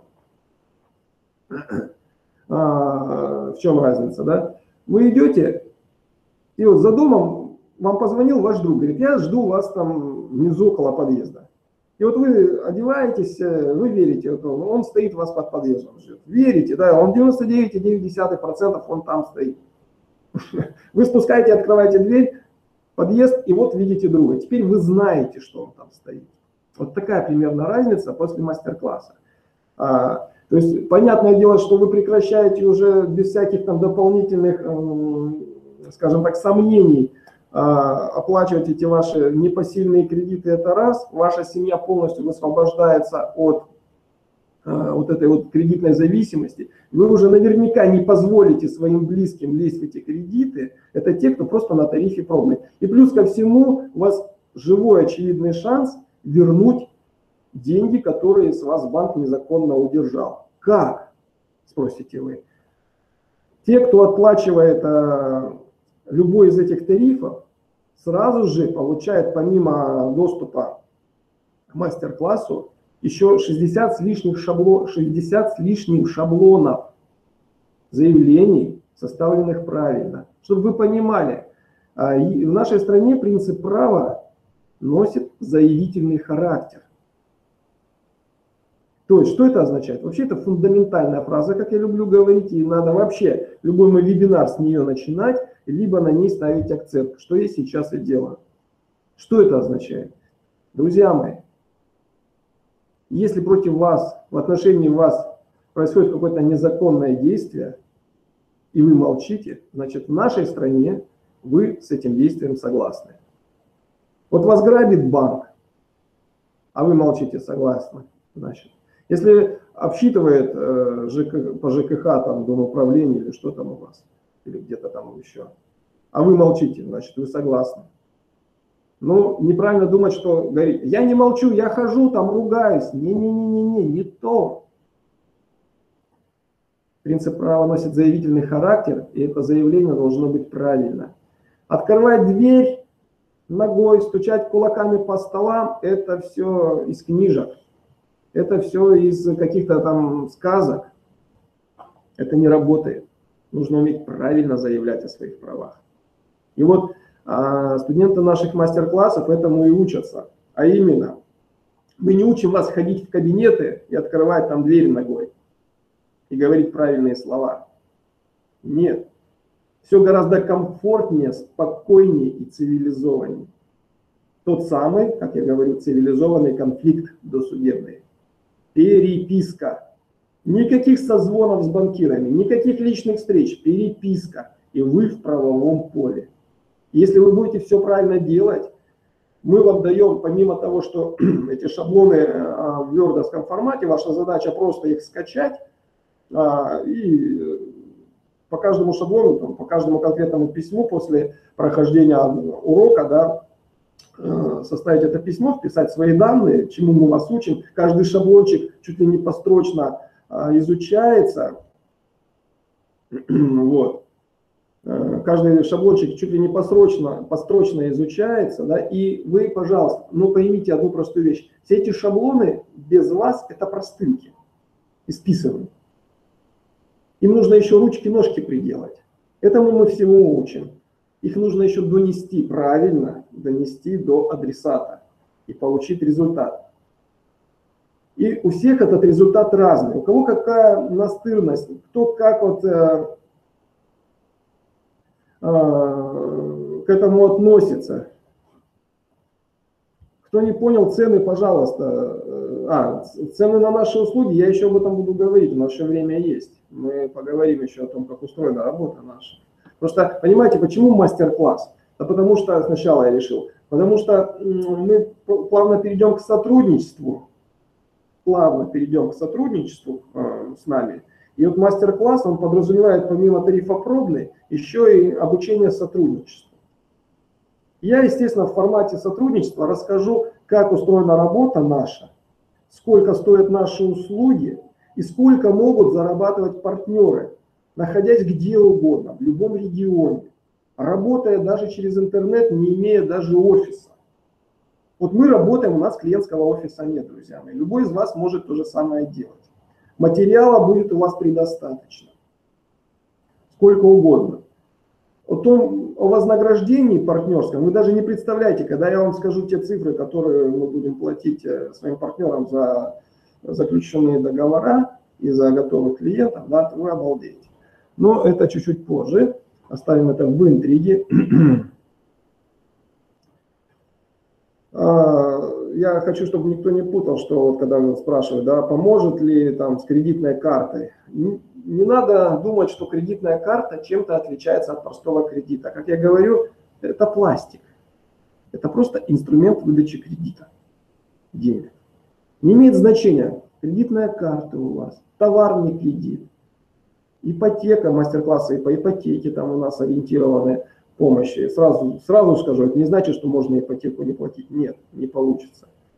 А, по автокредитам, по залоговым, я имею в виду кредитам. Все это там сориентировано, но у нас там 63 шаблона, причем а, вы их получаете сразу, еще до начала а, занятия. То есть, грубо скажем, кто сейчас через сайт оплачивает, предположим, да, вы оплату произвели и тут же проверяете свою почту, и у вас уже ссылочка на закрытую группу ВКонтакте, куда вы подаете заявочку, вас добавляет, там в течение суток администратор, а уже в письме ссылка на шаблон. И вы уже, как я знаю, мне просто всегда говорят, я, говорю, просто оплатил, оплатила, открыла почту, скачала эти шаблоны и сказала, вау, вот только просто эти шаблоны, они уже стоят намного дороже. Но это такое первое ощущение, а, нужно понимать, что с ними делать. Это как, знаете, без инструкции сложно какой-то прибор освоить. Здесь тоже нужны инструкции.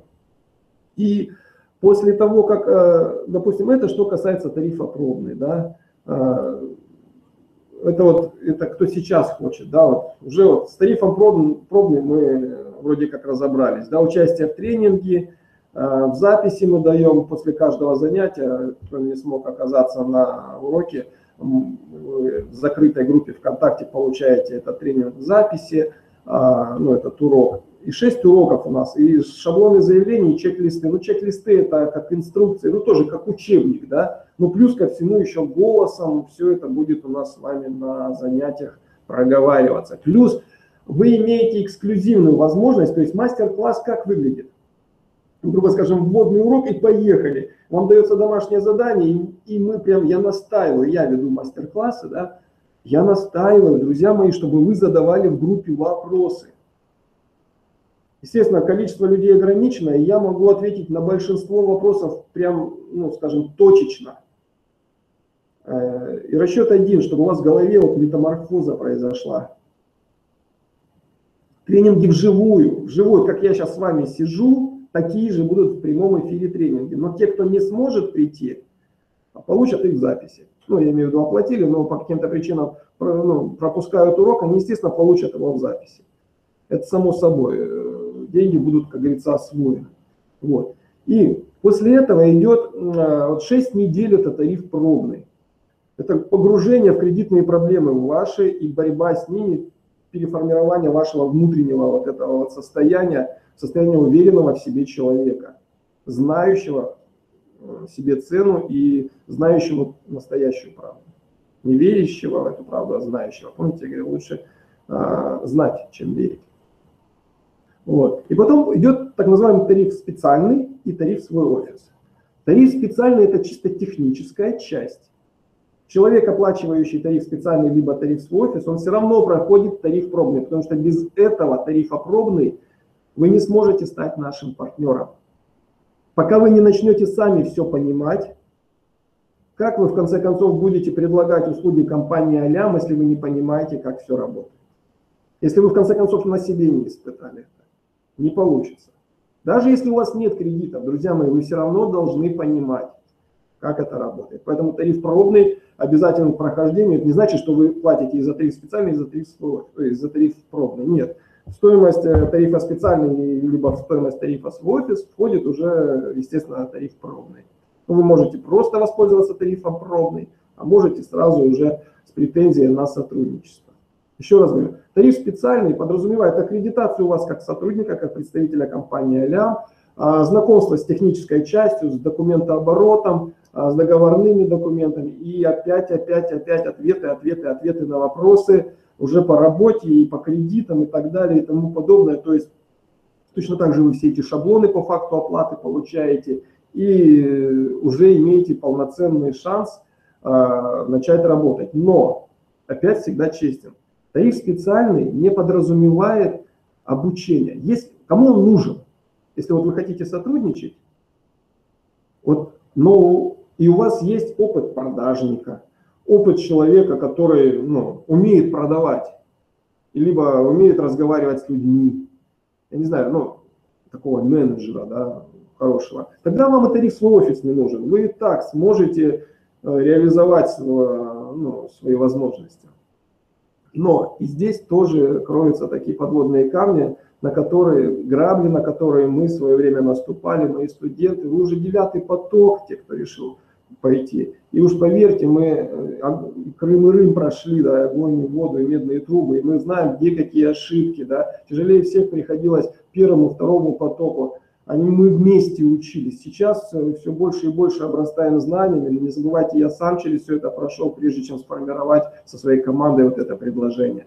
И я знаю, как искать людей, я знаю, где их находить, я знаю, что им говорить. Я, в конце концов, знаю, как устроена работа нашей компании. И вот тариф свой офис, название говорит само за себя. Там будет один вводный урок и дальше персональный коучинг со мной. Я лично занимаюсь, сейчас внимание, с теми, кто приобрел тариф свой офис.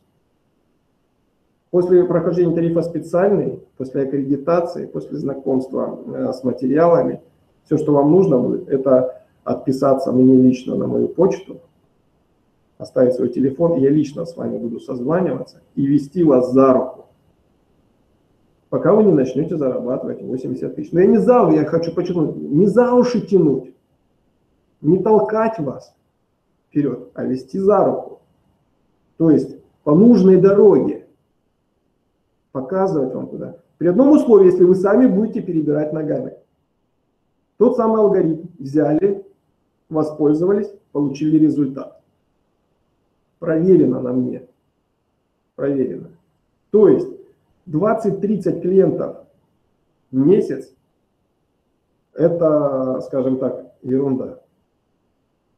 Лидия, возрастной ценз никакого значения не имеет. У меня есть э, девчонка, которая ей 21 год, я узнал об этом только после того, когда уже с ней лично стал общаться. И есть женщина, тут в Кингисеппе живет в области, 63 года. Она делает 10-12 клиентов. Как вы думаете, давайте сейчас в чате напишите, как вы думаете, э, сколько вот вокруг вас сейчас могло бы людей заинтересоваться? Я не говорю, сколько бы вы смогли сейчас людей убедить. Как вы думаете? В чате напишите. Просто. Скольким людям сейчас вокруг вас нужна помощь? И имеется в виду семейные ваши люди, да, ну, близкие, знакомые, друзья, коллеги. А я, чтобы вы, а, вам было немножко проще, да, скажу, что по данным Росстата на конец 2014 года проблемная закредитованность в нашей стране 40 миллионов. 40 миллионов человек. Понимаете? Это проблема с точки зрения банкиров считается, когда человек должен более двух месяцев делать просрочки.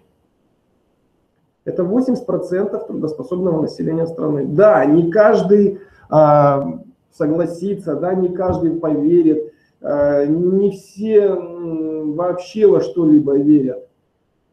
Сейчас вам будет казаться, многим из вас, вот вы прошли, вот даже стартовые какие-то верные шаги сделали, вот видите, в моем подъезде в каждой квартире.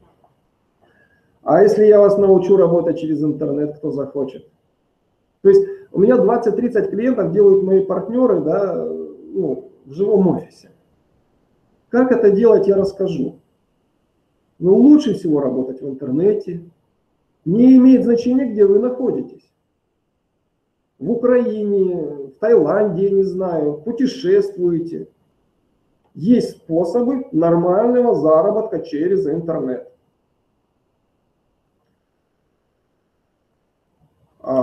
Если хотите живого общения, офлайн бизнес, пожалуйста, и здесь мы вам расскажем, научим вас ни на какие грабли не наступать, а сделать так, чтобы не потратить лишних денег на рекламу. Где-то вообще научим вас без вложений в рекламу работать.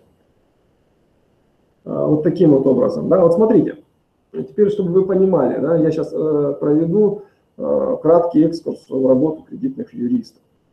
И вот это, пожалуйста, а, я вам сейчас преподнесу примерно так, как, э, может быть, вы могли бы преподнести. Ничего непостижимого в моих сейчас словах не будет. Я заведомо а, говорю вам, что, простите, а, буду по минимуму употреблять юридические термины. Это говорит о том, что не нужно быть юристом, важно быть аккредитованным нашим специалистам, и вашего клиента подхватят на этапе уже, вот только вот он заключит договор, все его подхватят наши сотрудники, и ваша задача, ну, у нас так все устроено, что мы своих партнеров не грузим сопровождением. То есть взяли, договорились, клиенту преподнесли, и все.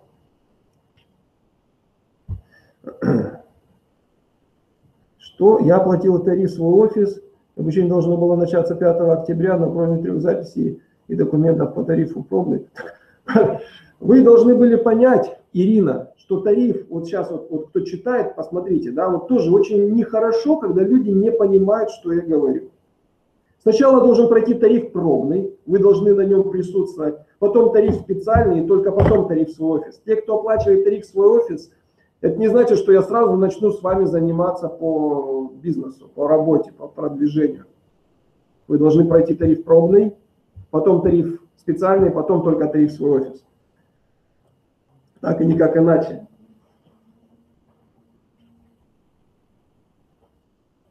А, вот. Видите ли, дорогие мои, алгоритм работы кредитных юристов. Как мы работаем?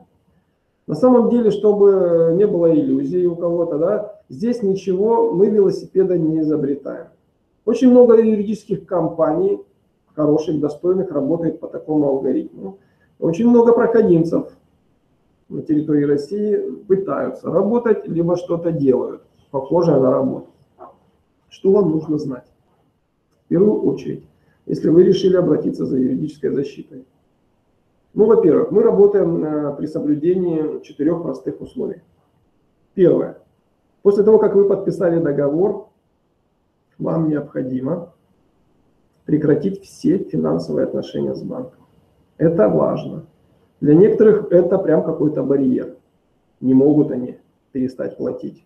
Вот совесть не позволяет, да. А я говорю, что так нужно сделать. Это раз. В двух словах почему. Мы, как только вы к нам обратились, начинаем тот самый цивилизованный конфликт. Мы сообщаем банкирам, что мы не согласны, мы точнее не согласны э, с действиями банка, банка а не согласны с условием договора и такое-то, пятое, десятое. Да? Сейчас вот послушайте, давайте без писанины в чате, я прошу вас, давайте. Сейчас послушаем важные моменты. А, вот. Значит, если мы утверждаем, что мы не согласны с условиями, а мы в каждом практически заявлении пишем, что прекращаем, приостанавливаем оплату, а вы будете продолжать платить, то это, как скажем так, неоднозначно.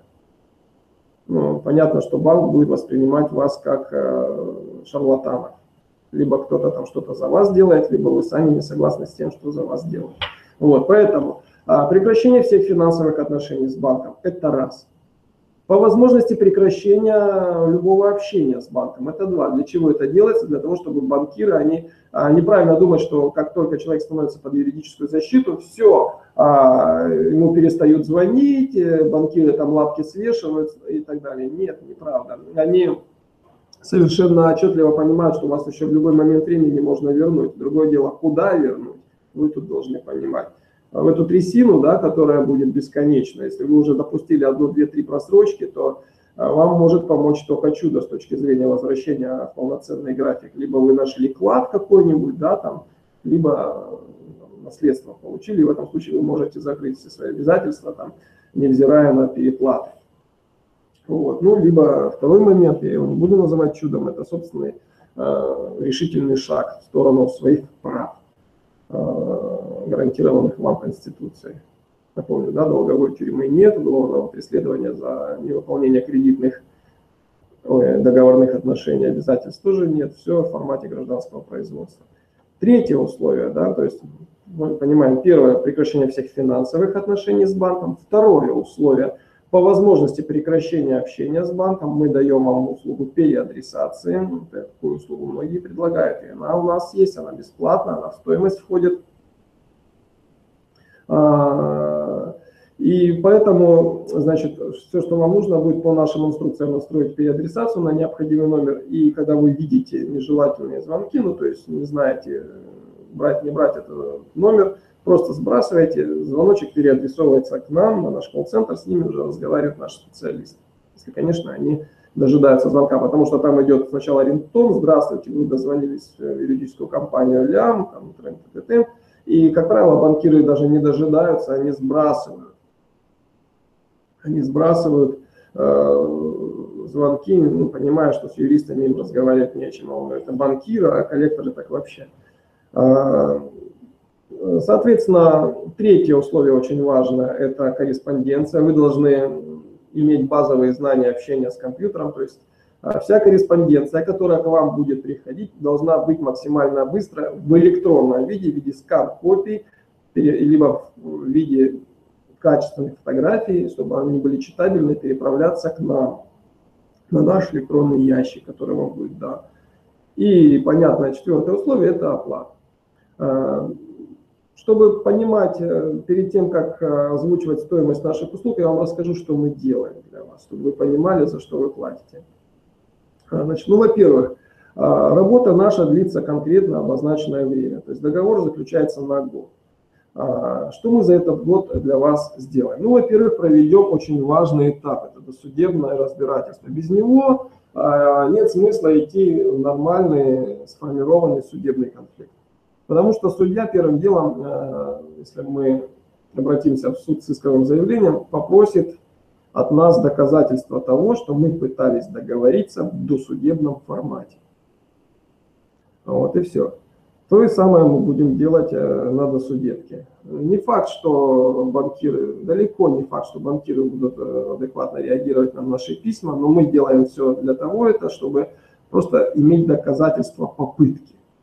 Да, этот самый долгий, да, самый затяжной, он, как правило, там 5-6 месяцев длится. То есть мы провоцируем банк на то, чтобы банк подал в суд на нас. Не удивляйтесь, действительно это интереснее, когда банк на нас подает в суд. На вас, в смысле, ну, мы вас защищаем, в этом случае вам нечего бояться. То есть мы изо всех сил даем банку понять, что мы его зовем в суд. Ребят, вот здесь очень важно, когда я говорил, да, немножко тут у нас сейчас изменились э, приоритеты, мы, конечно, стремимся расторгнуть договор с банком, но для кого не секрет, что суды очень сильно лоббированы банкирами.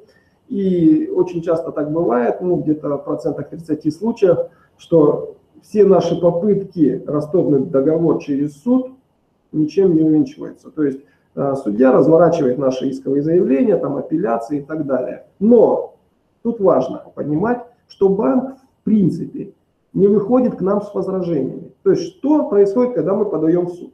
Ну, во-первых, мы до суда изо всех сил банк э, пытаемся вытащить в суд. Говорим ему, показываем свою гражданскую, вашу гражданскую позицию, что э, вы вот, вы такой, вы разбираетесь, вы хотите изменить, мы хотим, я вроде как типа хочу платить, но измените условия типового договора, а банк, естественно, не отвечает.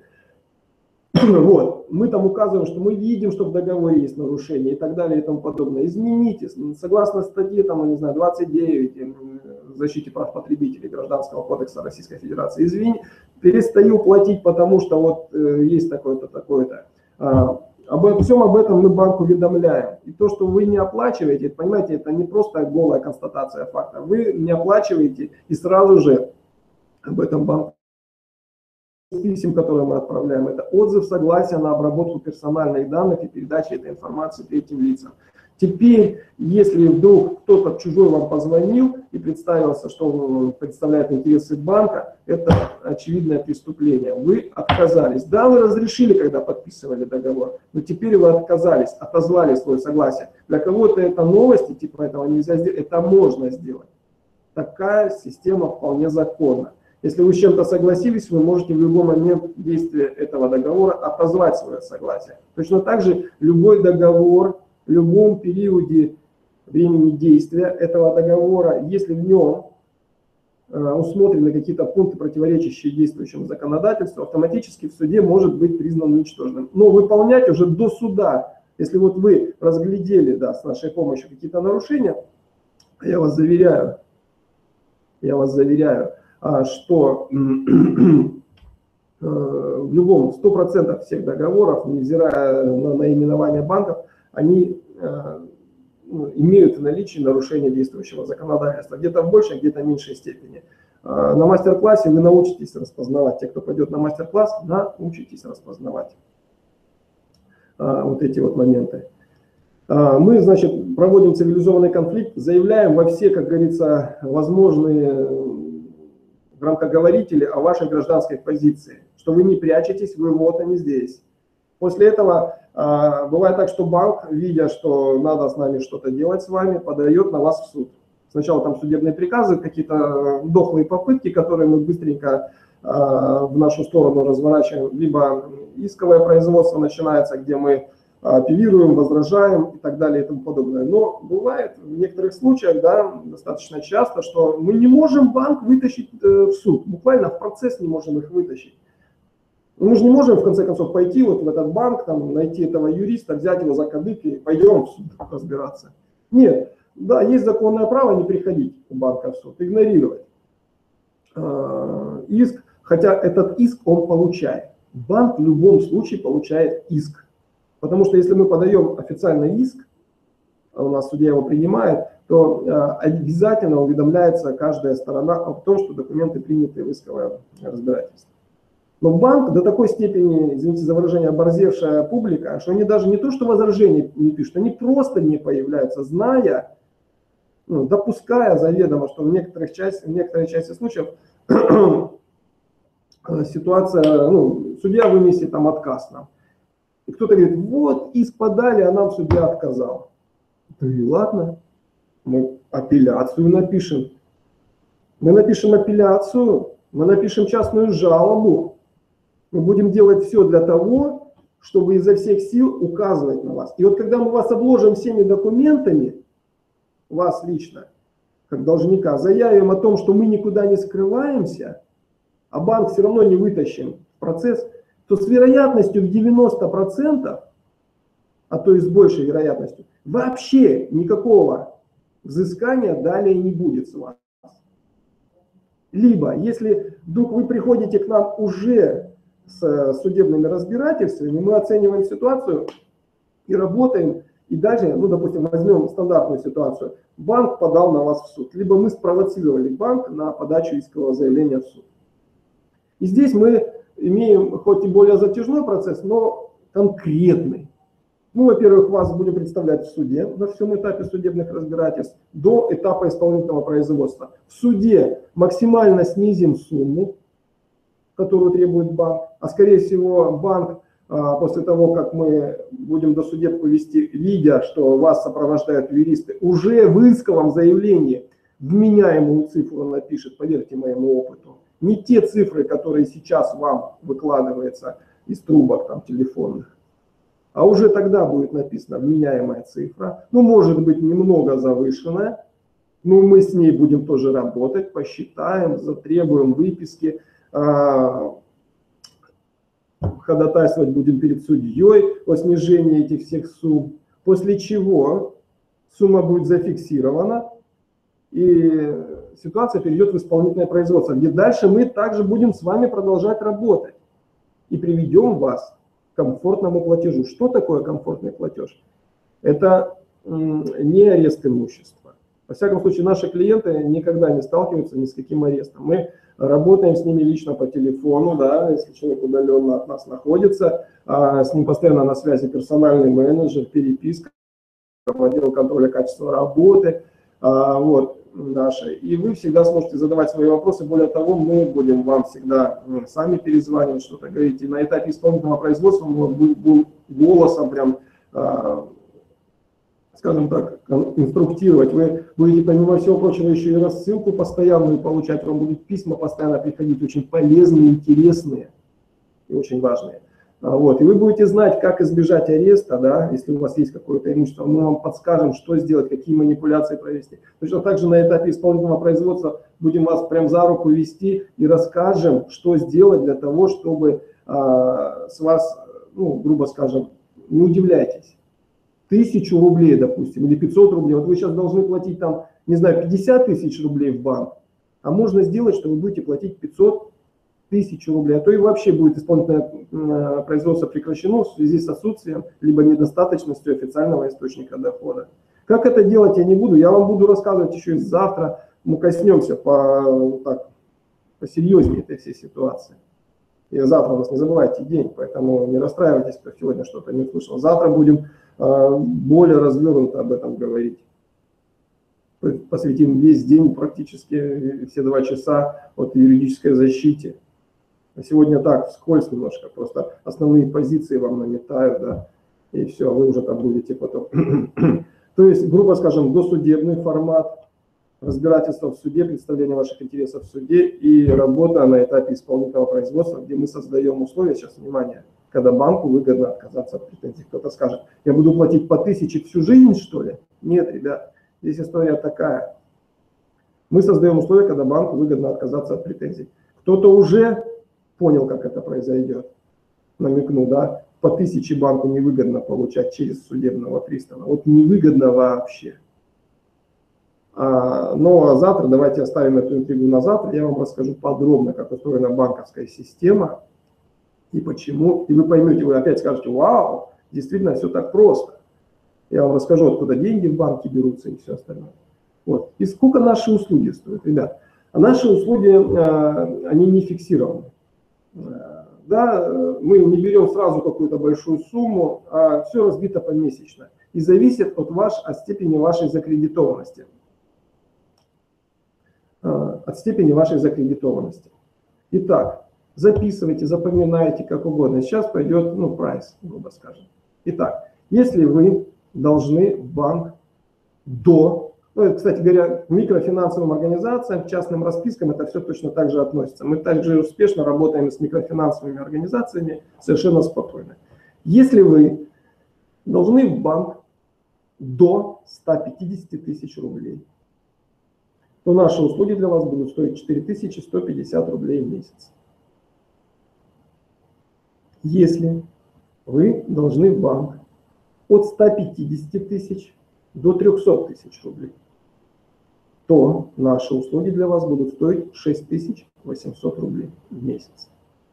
Если вы должны в банк от 300 тысяч до 8 сотен, то наши услуги для вас будут стоить 8 тысяч рублей в месяц.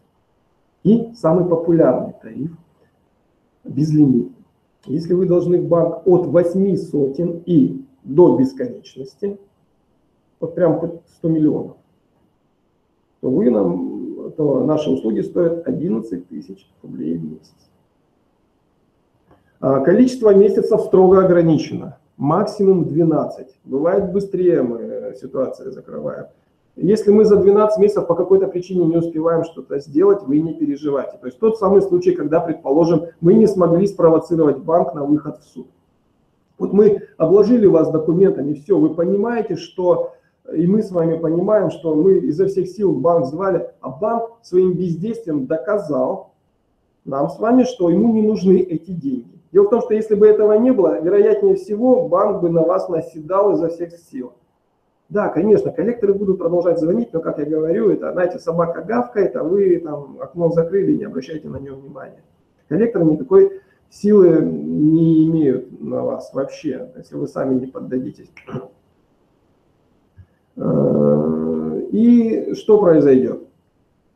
Э, вот, допустим, мы все сделали, и в течение 12 месяцев мы не смогли даже банк вытащить в суд. Ну, то есть, вот вы ничего не делаете, не платите, вы обложили свою ситуацию вокруг документальным рядом, у вас есть доказательства того, что вы не молчите, не прячетесь, а банк а, ничего не происходит. И вот бывает, ну очень редко так бывает, ну может быть в 5% случаев, что там через 12 месяцев, предположим, вы раз и получили там уведомление по почте, что в отношении вас там судебный приказ выпущен. Вы тут же нам звоните, либо пишете, говорите, я ваш клиент, а, такой-то, такой-то, у меня уже там срок обслуживания закончился, но у меня вот банк активизировался. Мы тут же вас подхватываем без каких-либо оплат и сопровождаем столько, сколько времени нужно вас а, на том этапе, на котором банк появился. Но это, повторю, бывает крайне редко, очень редко. Это исключение такое редкое из правил. Если мы провели все правильно и банк не появился в суде в процессе нашей работы, то вероятнее всего он там больше никогда не появится.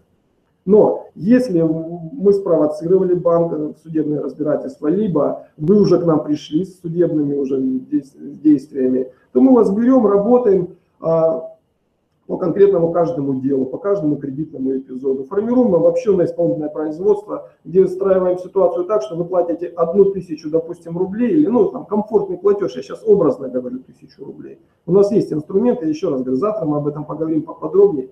Платите всем своим банкирам эту одну тысячу рублей. Тем самым создается условие, когда банку выгодно отказаться от претензий. Еще раз говорю, завтра будете знать поподробнее. Что касается мастер-класса, теперь вы понимаете, да, что вы э, э, как клиент фирмы платите вот такие вот деньги. Э, на сайт, кстати говоря, кому нужно будет стать под юридическую защиту, нет, считайте свою кредитную нагрузку без процентов. Смотрите, вот очень важный вопрос был, да, Сергей, ой, Серж Шихов спросил, да, очень важно, я пропустил, спасибо, Серж. Как считать кредитную нагрузку? Не столько, сколько вы сейчас должны, не столько, сколько вы уже вы отдали там и остались должны, не столько, сколько вам банк насчитал, а вот на момент возникновения договорных отношений. Сколько было написано в договоре. Понимаете? В договоре реструктуризации, либо а, просто в этом договоре, либо какой у вас кредитный лимит на карте был. Вот с этих позиций считайте все свои кредиты. Все в кучу собираете – вот по тем кредитам, которые вы хотите нам отдать в работу, и считайте общую сумму. Я не утверждаю, что вам нужно там э, все обязательно. Ну, может, вы хотите один только кредит нам в работу дать, а остальные продолжать платить. Но мне это непонятно. Если излечиваться, то надо излечиваться. И в 80% э, наших клиентов это безлимитный, да, когда сумма от 8 сотен и выше. Тут 11 тысяч и все. И ну, поймите, это и бонус, и условия. Для кого-то это шикарный бонус, а для кого-то это непреодолимые условия. Нужно прекратить, нужно прекратить все финансовые отношения с банком. Как только подписали с нами договор о юридической защите, сразу же все, в банк ни копейки. Это важно. Почему завтра поймете. Что касается мастер-класса. Кстати говоря, у кого сейчас денег нет, да, вот мастер-класс еще э, не завтра и не послезавтра. Мастер-класс у нас начинается 23 ноября, ну, через месяц практически, специально заранее презентацию выдвигаем, да, вы можете забронировать. То есть у кого, я, я не призываю вас сейчас оплачивать ничего. Если кто-то может оплатить, вы можете, вот пока идет вебинар, и еще там чуть-чуть времени, воспользоваться скидкой. А можете забронировать. Единственная разница, что те, кто забронирует, к сожалению, уже скидкой не воспользуются, а будут ну, вынуждены купить вот по этой цене. Да? 350 8 999 и 20 699 рублей. Ну, стоимость будет такая. А, вот. А, что поделаешь. Те, кто сейчас прям кнопочку нажмет, нажмет «Купить со скидкой», сможете сейчас это сделать, купить со скидкой, и уже вам сегодня же, буквально после оплаты, сразу же придет на почту а, необходимая информация. То есть, что хочу сказать, уже пошли оплаты, друзья мои, спасибо, порядка 15 оплат я вижу. Но те из вас, кто еще по какой-то причине хочет получить какую-то информацию, либо, ну, пишут некоторые денежек нет, мастер-класс 23 числа, через месяц. Вы можете забронировать место. Более того, э, есть еще услуга заморозки цены, то есть не секрет, что ближе к 23 числу цена может увеличиться. И это не я решаю, уж извините, у нас там финансовое отдел, они на эти вещи смотрят. Бывает так, я не гарантирую, что она увеличится, но может увеличиться. Итак, а, первое. То есть, если вы сейчас э, по какой-то причине не оплачиваете, не хотите оплатить, вам нужно просто нажать кнопку «Забронировать». Друзья мои, пожалуйста, внимание, внимание. Нажимая кнопку «Забронировать», система вас переведет выйдет поле, где будет написано «Заполните все поля, после чего ждите звонка нашего специалиста в ближайшее время». Все правильно. Пожалуйста, заполняйте все поля корректно. Как вас звать, как вам обращаться. Соответственно, ваш телефон должен быть правильный и email. Проверьте все несколько раз, прежде чем нажать кнопку э, уже «Заказать счет». Да, тут кнопочка будет «Заказать счет». Вот. Вам в течение суток, двое, там, ну, у нас очередь обычно, но обязательно перезвонят наши специалисты, и вы сможете, кстати говоря, у них кое-что спросить, то, что вам, может быть, было непонятно по мастер-классу. Договориться о оплате э, чуть-чуть ну, позже. сообщить о том, когда вы сможете оплатить, чтобы за вами было место забронировано. Дело в том, что мы не собираем много людей на мастер-класс.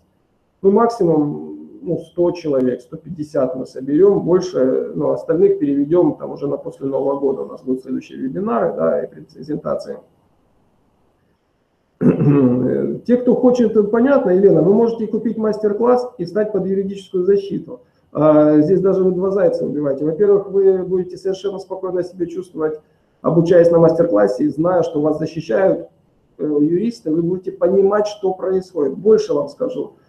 Процентов 80 студентов наших на мастер-классе в итоге становятся под юридическую защиту.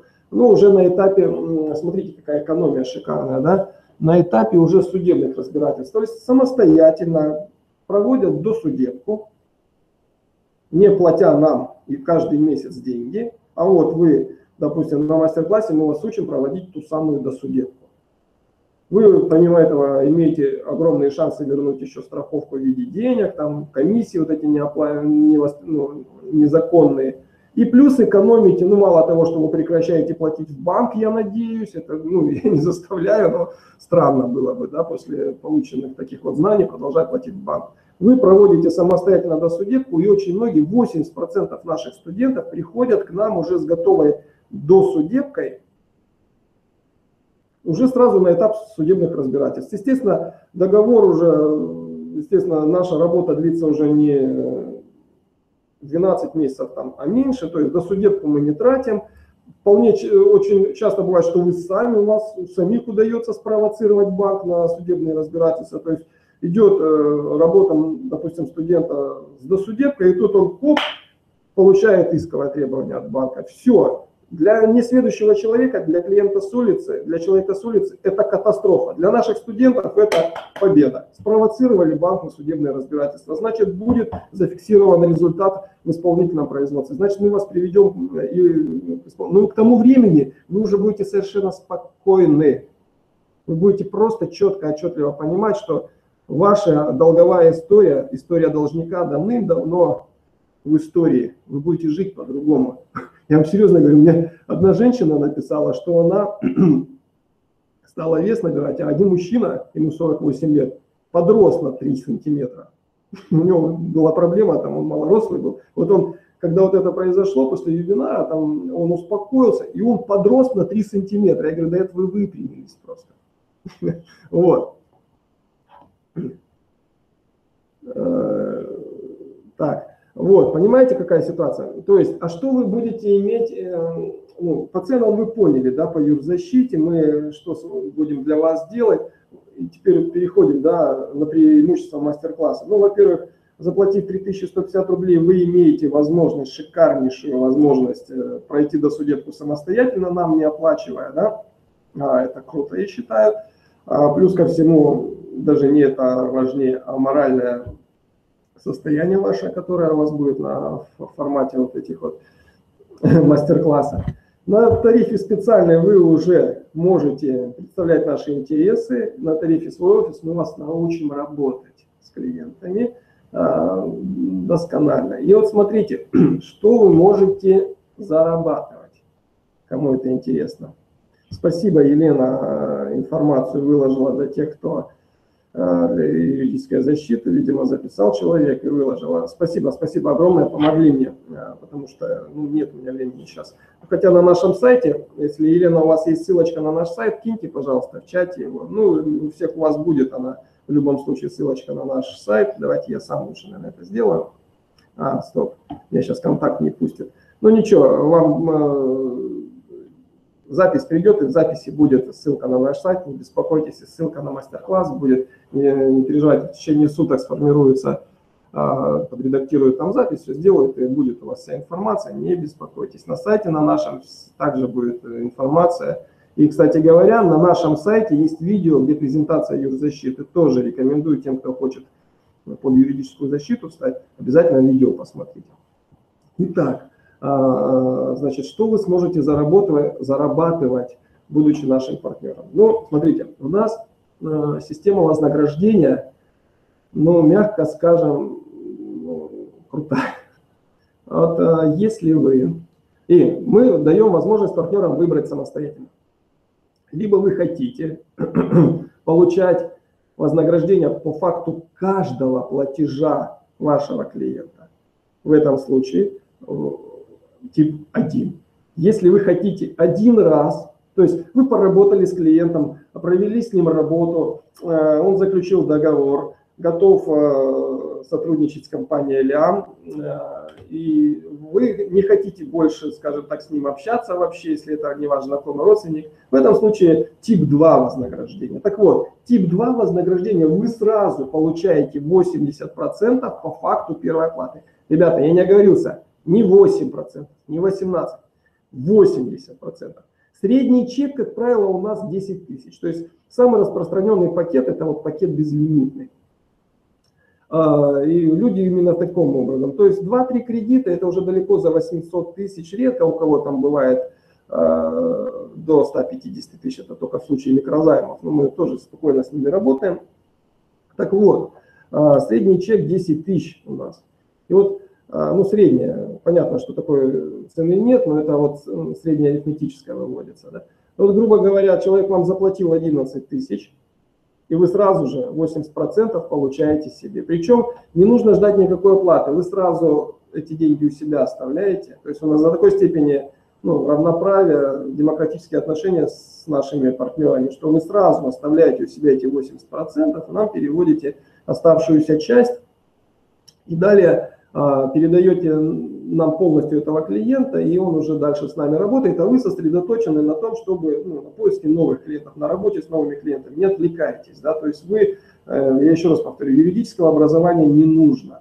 Вам нужно будет пройти тариф пробный, да, то есть пройти мастер-класс, и вам этого будет достаточно, чтобы совершенно спокойно работать, взаимодействовать с нами, приносить пользу людям. Действительно, здесь пафоса никакого нет, это польза серьезная, многим-многим-многим, во-первых, откройте глаза на происходящее, и самое главное, э, что там, ошибку какую-то, почему сумма на бронь выросла. Ну, сейчас я проверю, подождите, могла быть ошибочка, одну секунду. Если что, мы сейчас же поправим, если, пожалуйста, так. Не, на броне, понятно, все, понял. Вот э, вы меня в заблуждение ввели немножко. Я же вам сказал, если вы бронируете, если вы покупаете, то вы сейчас покупаете дешевле на 10%. Если вы бронируете и не покупаете сейчас, то вы покупаете по стандартной цене. Дороже, вот, э, ну, 10% не субсидируется. Понимаете, Елена? Это без скидки, правильно вам Галина комментирует извините, да, то есть если забронировали, то таким образом. То есть 80% вы получаете по факту э, приведенного клиента, и если вы хотите, допустим, это если ваши родственники, да, друзья, знакомые, родственники, или даже вы, вы сами, находясь на мастер-классе, на тарифе там специальный, либо на тарифе свой офис, хотите встать под юридическую защиту, вы можете уже воспользоваться э, вот этим бонусом в 20%. Совершенно спокойно, понимаете, да? Вот еще экономия, будьте любезны.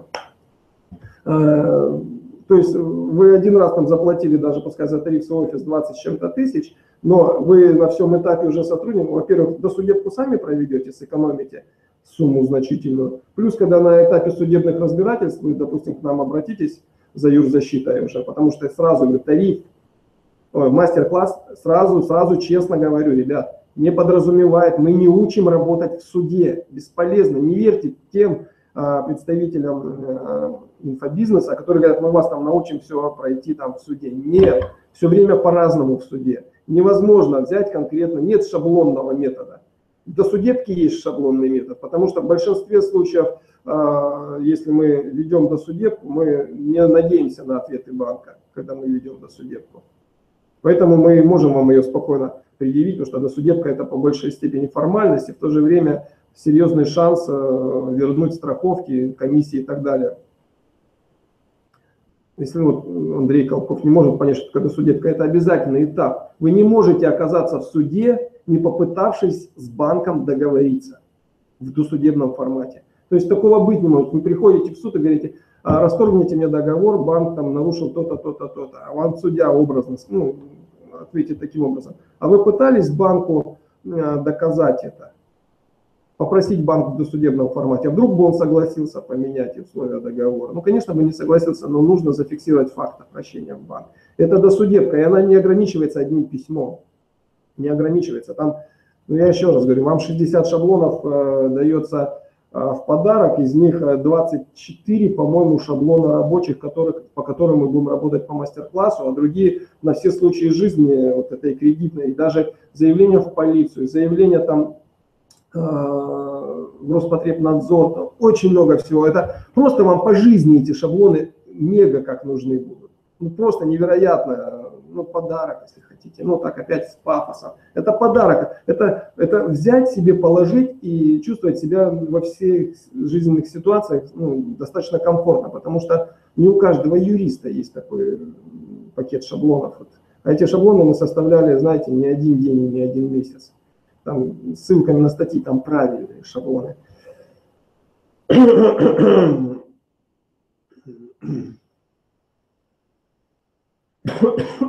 Смотрите, вот Евгений задает вопрос интересный, да? А я сейчас отвечу на этот вопрос. Ну, закончить должен с вознаграждением по мастер-классу, да, если вы а, на, по типу 1, то на каждом, на всем этапе сопровождения клиента хотите получать, то вы тут будете получать 20%.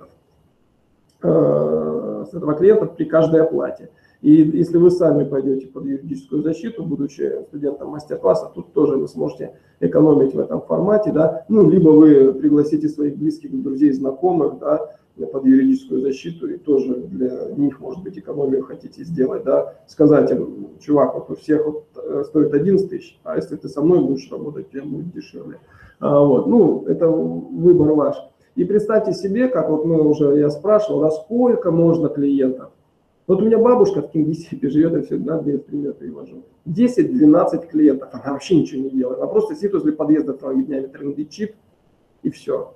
Со своими старушками 10-12 клиентов. Есть ребята, уже там по 100, по 120 клиентов в месяц бьют но это уже, они уже на субсидировании, у нас если э, есть система бонусов 15 плюс, если вы делаете на протяжении двух-трех месяцев, то мы там уже вам и офисы будем оплачивать, и много-много бонусов. У нас очень распространена э, в этом потоке тоже она будет, э, когда, значит, тариф специальный начинается, если человек в течение месяца Э, делает, я сейчас не помню правильно, ну, примерно такой алгоритм, раскладка такая, в течение месяца делает пробные там 10 клиентов, то ему возвращается стоимость всех этих курсов. Ну, то есть помимо того, что он зарабатывает свои деньги, плюс ему еще в бонус возвращается стоимость вот этого мастер-класса, все полностью обнуляется, то есть человек практически не понес никаких расходов. Поверьте, не, не сто, нам не важна продажи мастер-класса, как я говорил, нам нужны грамотные партнеры. И почему берутся деньги, а потом возвращаются? Да, буду честным, мы пытались работать, предлагать сотрудничество бесплатно. Вот даже кто в YouTube видел, э, мы выводили бесплатно, э, я выводил презентацию, давайте работать, сотрудничать. Что вы думали?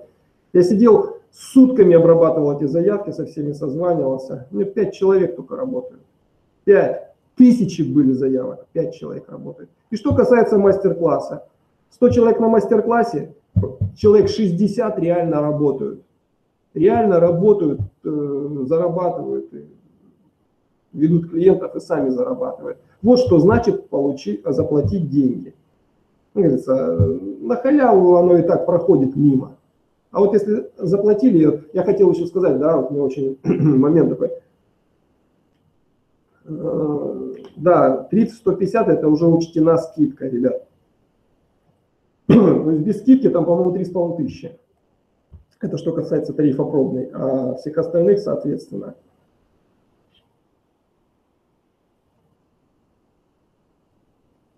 Так, э, мы прощаемся вот с этим персонажем. Виля, я один, так. Вот, видите, ну, у нас появился э, человек в чате, мы его быстренько удалили, он больше не сможет с нами общаться. Ага. Вот.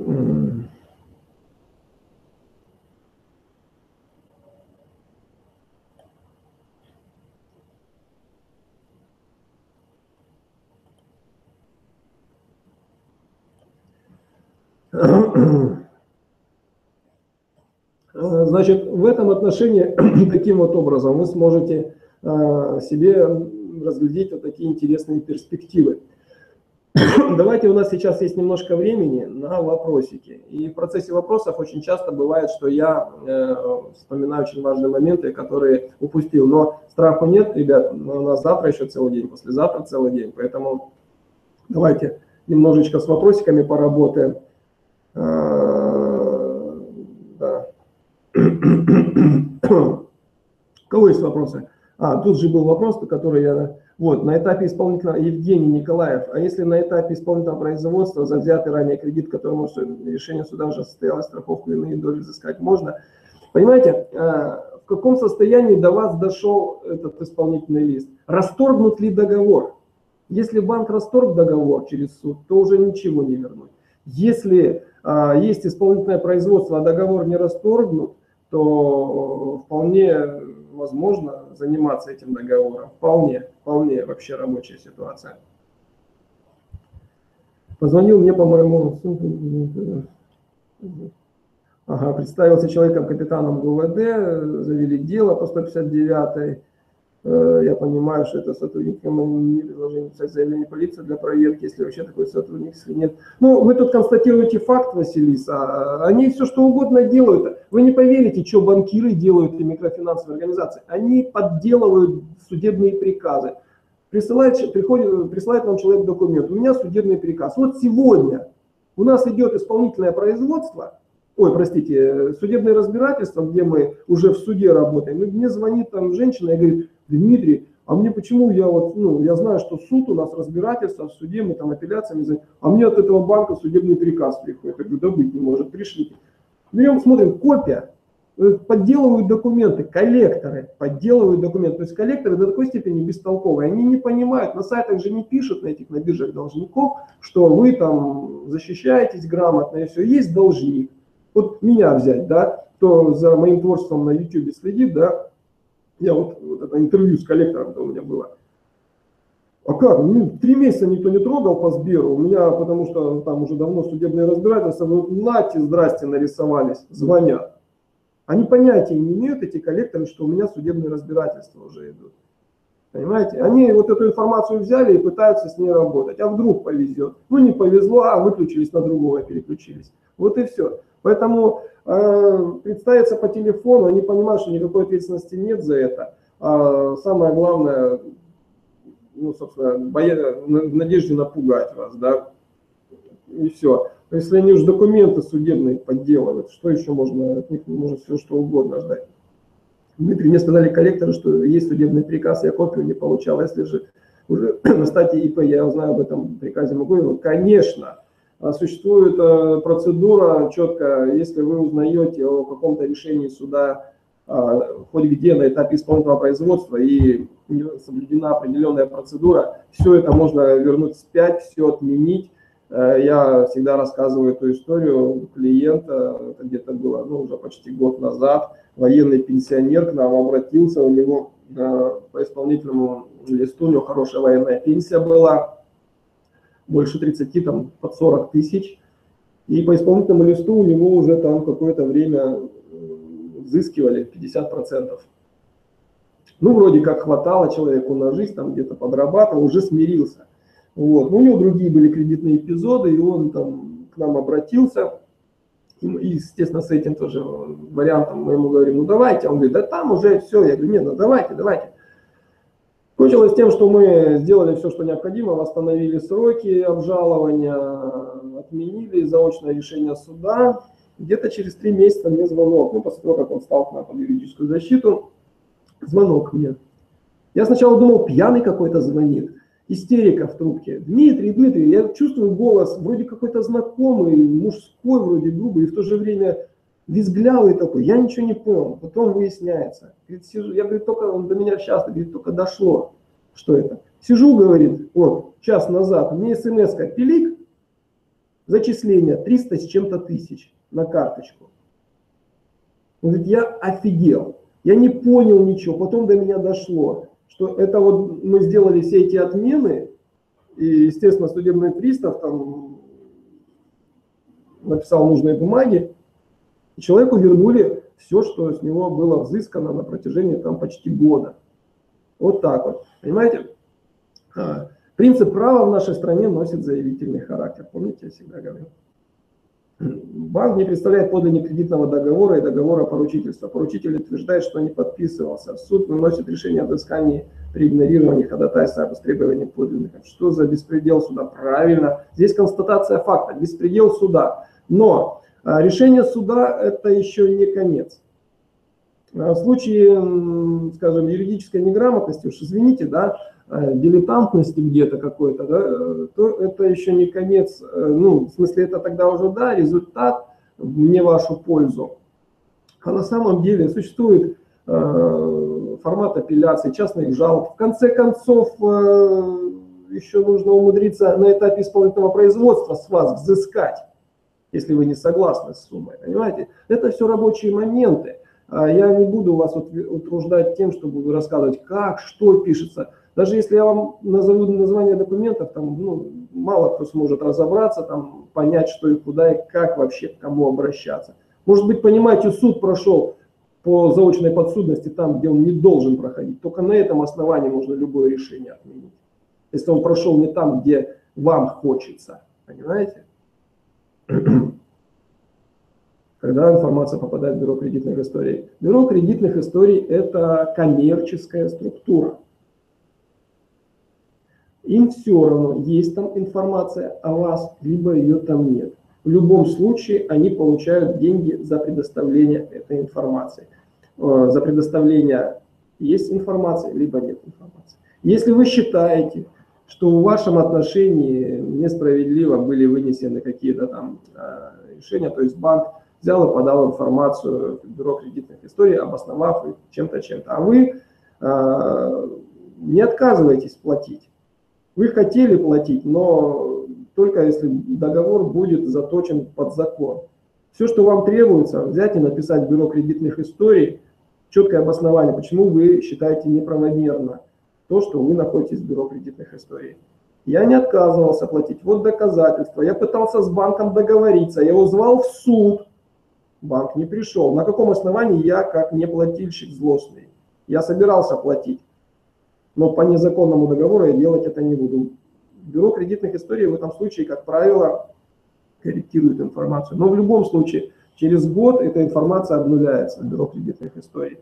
И вы там перестаете находиться.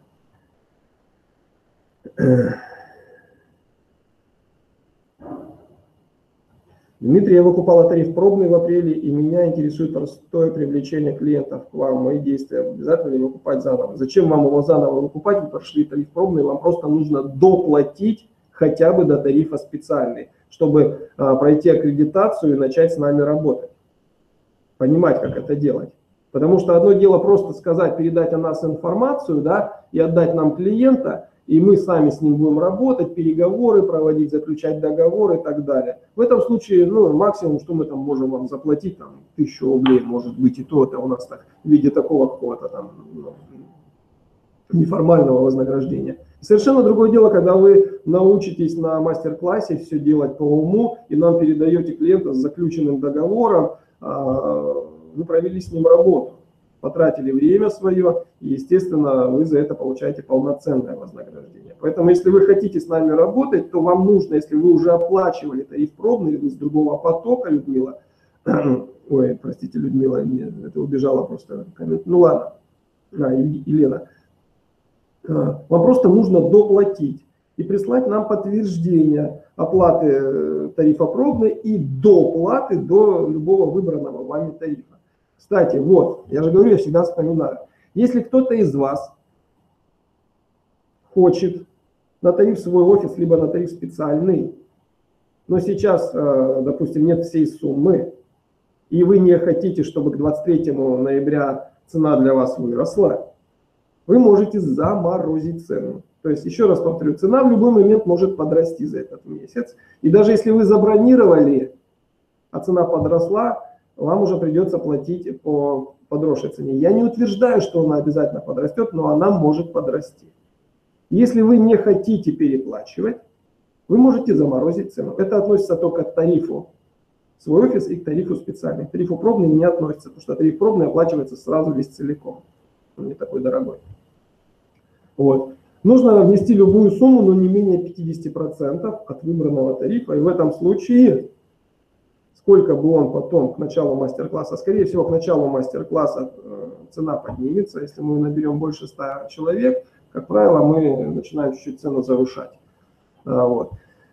А, если цена поднимется, а вы заморозили цену, то она для вас останется прежней. Для этого нужно просто э, заморозить цену. Для этого нужно забронировать его, дождаться звонка сотрудника и, соответственно, это обсудить с ним.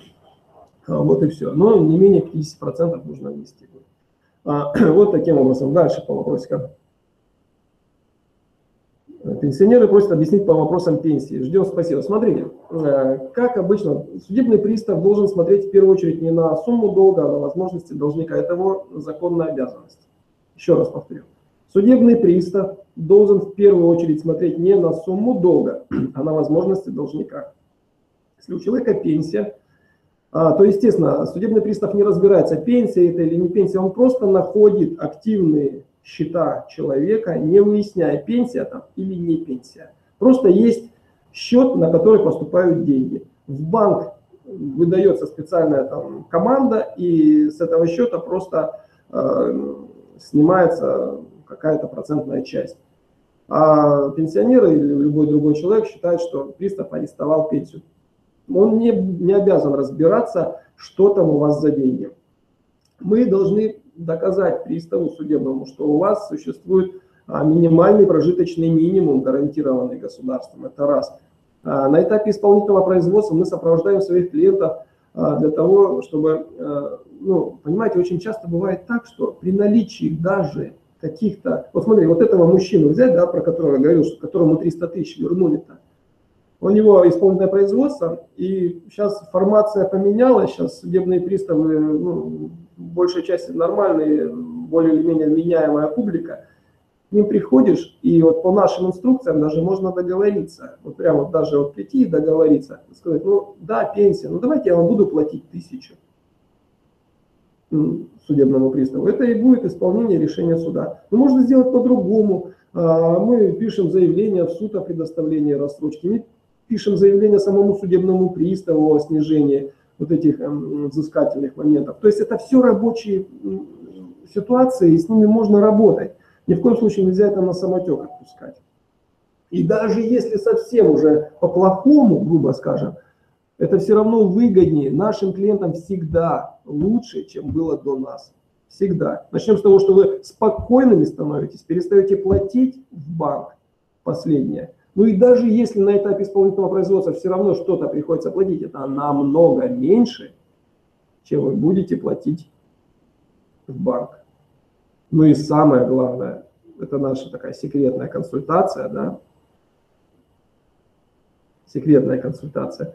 В принципе, вы платите, да, чуть-чуть, а потом взяли, попробовали, перестали платить.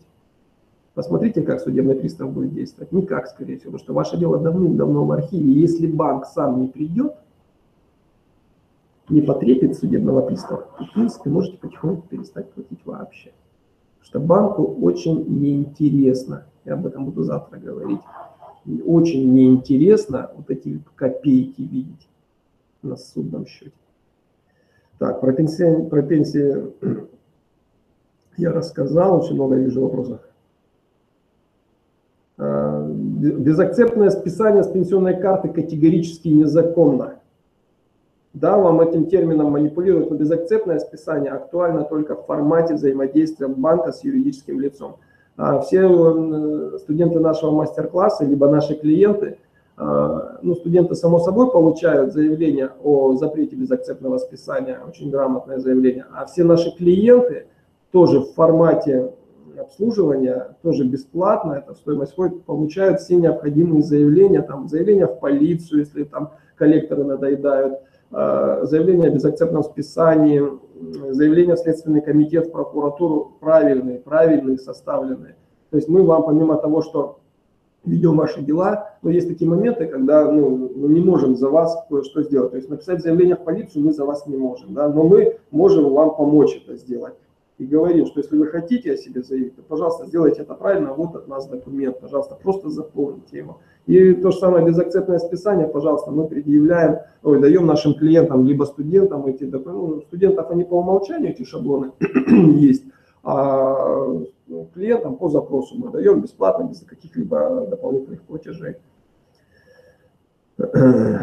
У меня 8 кредитных договоров, 5 из них уже у пристава. Брал в 2014 году, платил менее полгода. Я склоняюсь либо к выкупу через третьих лиц, либо банкротство. Ваше мнение? Ну, банкротство дороговато будет стоить, это раз. Во-вторых, какое банкротство, если у вас уже судебные разбирательства прошли? и дела исполнительного, у пристава, исполнительное производство, там о банкротстве речи быть не может. А вот выкупу через третьих лиц будьте очень внимательны, будьте очень аккуратны. Часто я видел клиентов, которые, выкупая свои долги через третьих лиц, а, через месяц сталкивались еще с одним покупателем их же долга, или даже с несколькими. То есть сам выкупил долг, и еще кто-то его выкупил. И получается, тот, кто у него выкупил, начинает теребить. То, что я вам, друзья, предлагаю, на мой взгляд, сейчас актуальнее, чем банкротство и что-то еще. Какая разница, сколько не платить, я вот так говорю. Если я перестану платить по кредитной карте, могут Сбербанк списывать задолженность моей карты, на которую идет пенсия. Они могут делать все, что угодно, поверьте. А, можно перевести пенсию на почту. Очень многие наши клиенты, вот это одна из наших там услуг, когда мы консультируем а, понятное дело, если вы не платите, если вы должны долг у вас перед Сбербанком, естественно, они, видя ваши деньги, могут их в безакцептном порядке списывать. Это незаконно, да, но попробую их это самое потом вернуть. Поэтому лучше их обезопасить таким образом. Либо перевести на почту, но если это, конечно, вы в Сбербанке должны. Если это долг в другом банке, никому не верьте. У них нет таких инструментов, чтобы они а, могли добраться до чужих ваших счетов. То есть, если вы должны, не знаю, в русском стандарте, а пенсию получаете а, в Сбербанке, то русский стандарт не сможет вашу пенсию украсть никаким образом. А, понимаете, если кредит с поручителем, то в принципе такая же работа. То же самое, также это работа с поручителем. Попробуйте в нашей стране с физиком взыскать, если физик знает, как защищаться, физическое лицо ну, в Сбербанке, то переведите пенсию на почту. Очень многие пенсионеры так делают, наши клиенты. Перевели пенсию на почту, получаете на почте. Почтальоны сейчас вообще домой прям пенсию. А, ну, либо напишите заявление в пенсионный фонд, чтобы откройте счет в каком-нибудь другом банке. Что касается вот тех людей, кому интересно, а, кому интересно, ну, не могут жить без банковских продуктов, без пластиковых карт, а если вы хотите, то нужно заводить э, счета где-нибудь в таких в неизвестных банках, в региональных маленьких банках. У них такие же условия везде, как правило, вот, но, видите ли, у судебного пристава нет такой кнопки специальной, которая как метла будет проверять все банки поголовно. У них есть там топ 10-15 банков, самых основных, они у них закидывают запросы о наличии счетов. Если вы там в каком-нибудь бах, трух, энергомуж, там в каком-нибудь банке открыли счет, то, скорее всего, у судебного пристава там, ну, туда он не будет спрашивать. А, вот, поэтому, да, ну, мы живем в стране беспредела, да, ну, попытайтесь по максимуму, вот, Елена констатирует, да, в банке беспредел, в Сбербанке беспредел, везде беспредел, но гораздо проще, ну, скажем так, соломинку подстелить, зная, куда вы пойдете.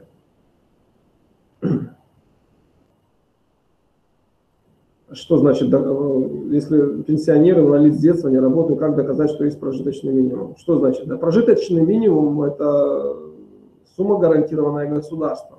То есть в нашей стране по закону человека никто не имеет права оставить без прожиточного минимума. Если он у него есть, у него его забрать никто не может. В этом просто сообщается судебному приставу в виде напоминания. Вот и все. Что значит? Доказывать это не нужно. Это государством гарантированный прожиточный минимум. Никому это ничего, это Конституция. А МФО могут забрать с пенсионной инвалидной карты. Поймите одну простую вещь. Ни МФО, ни банк, никто, ни дядя Вася с ларька с соседнего не может у вас ничего а, самовольно забрать. Лишить гражданина имущества может только судебный пристав на основании решения суда. Так и никак иначе. Даже у вас, если залоговый кредит, автокредит, ипотека, не забирает банку, это просто так звучит. На самом деле решение принимается в суде, и только суд может взять и человека лишить какой-либо собственности. Вот и все. Тоже относится к собственности, кстати, и деньги относятся. Почему я утверждаю, что это незаконно, когда банк по умолчанию списывает зарплаты с пенсии без решения суда. Это незаконно. Он лишает вас вашего имущества. Вот и все.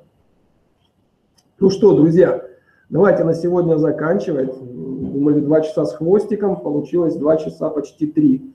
Итак, быстренько пробегаемся по мастер-классу э, и по юрзащите. Значит, по юрзащите www.aliam.ru наш сайт, можете заявочку оставить Сейчас а, я вам здесь это все эм, выдам. Сейчас ссылочки вам отправлю э, в чате. Э, вот. Ну, можете в группу ВКонтакте в нашу зайти.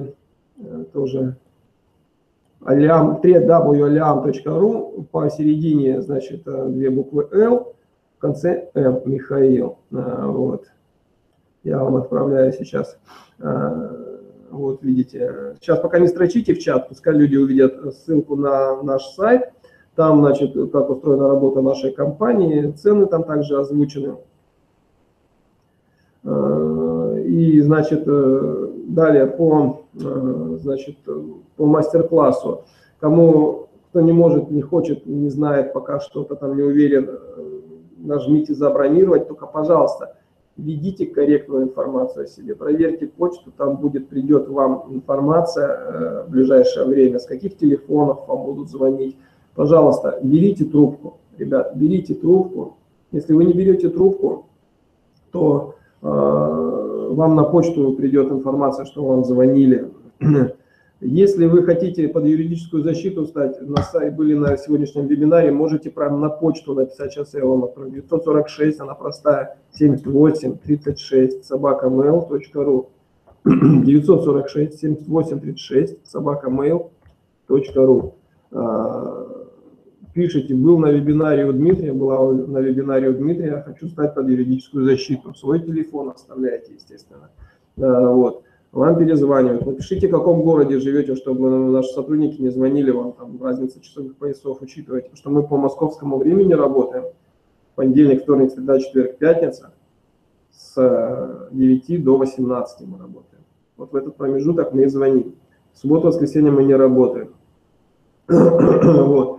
А, значит, э, это все, что касается тех, кто ждут звонков и там по какой-то причине не дождались, мы обязательно перезвоним. Если вам не перезвонили, не стесняйтесь написать на почту, что вы оставляли заявку, вам не перезвонили. Все может быть, вы не взяли трубку, а, вы недоступны были, там всякое бывает, в метро ехали, были не зоны доступа и думаете, что мы не созвонились. Так часто очень бывает, что человек думает, что его забыли, а на самом деле он просто либо трубку не брал, боится коллекторов, либо просто был недоступен по какой-то причине, либо вообще банально трубку где-то не оставил э, и не смог принять звонок.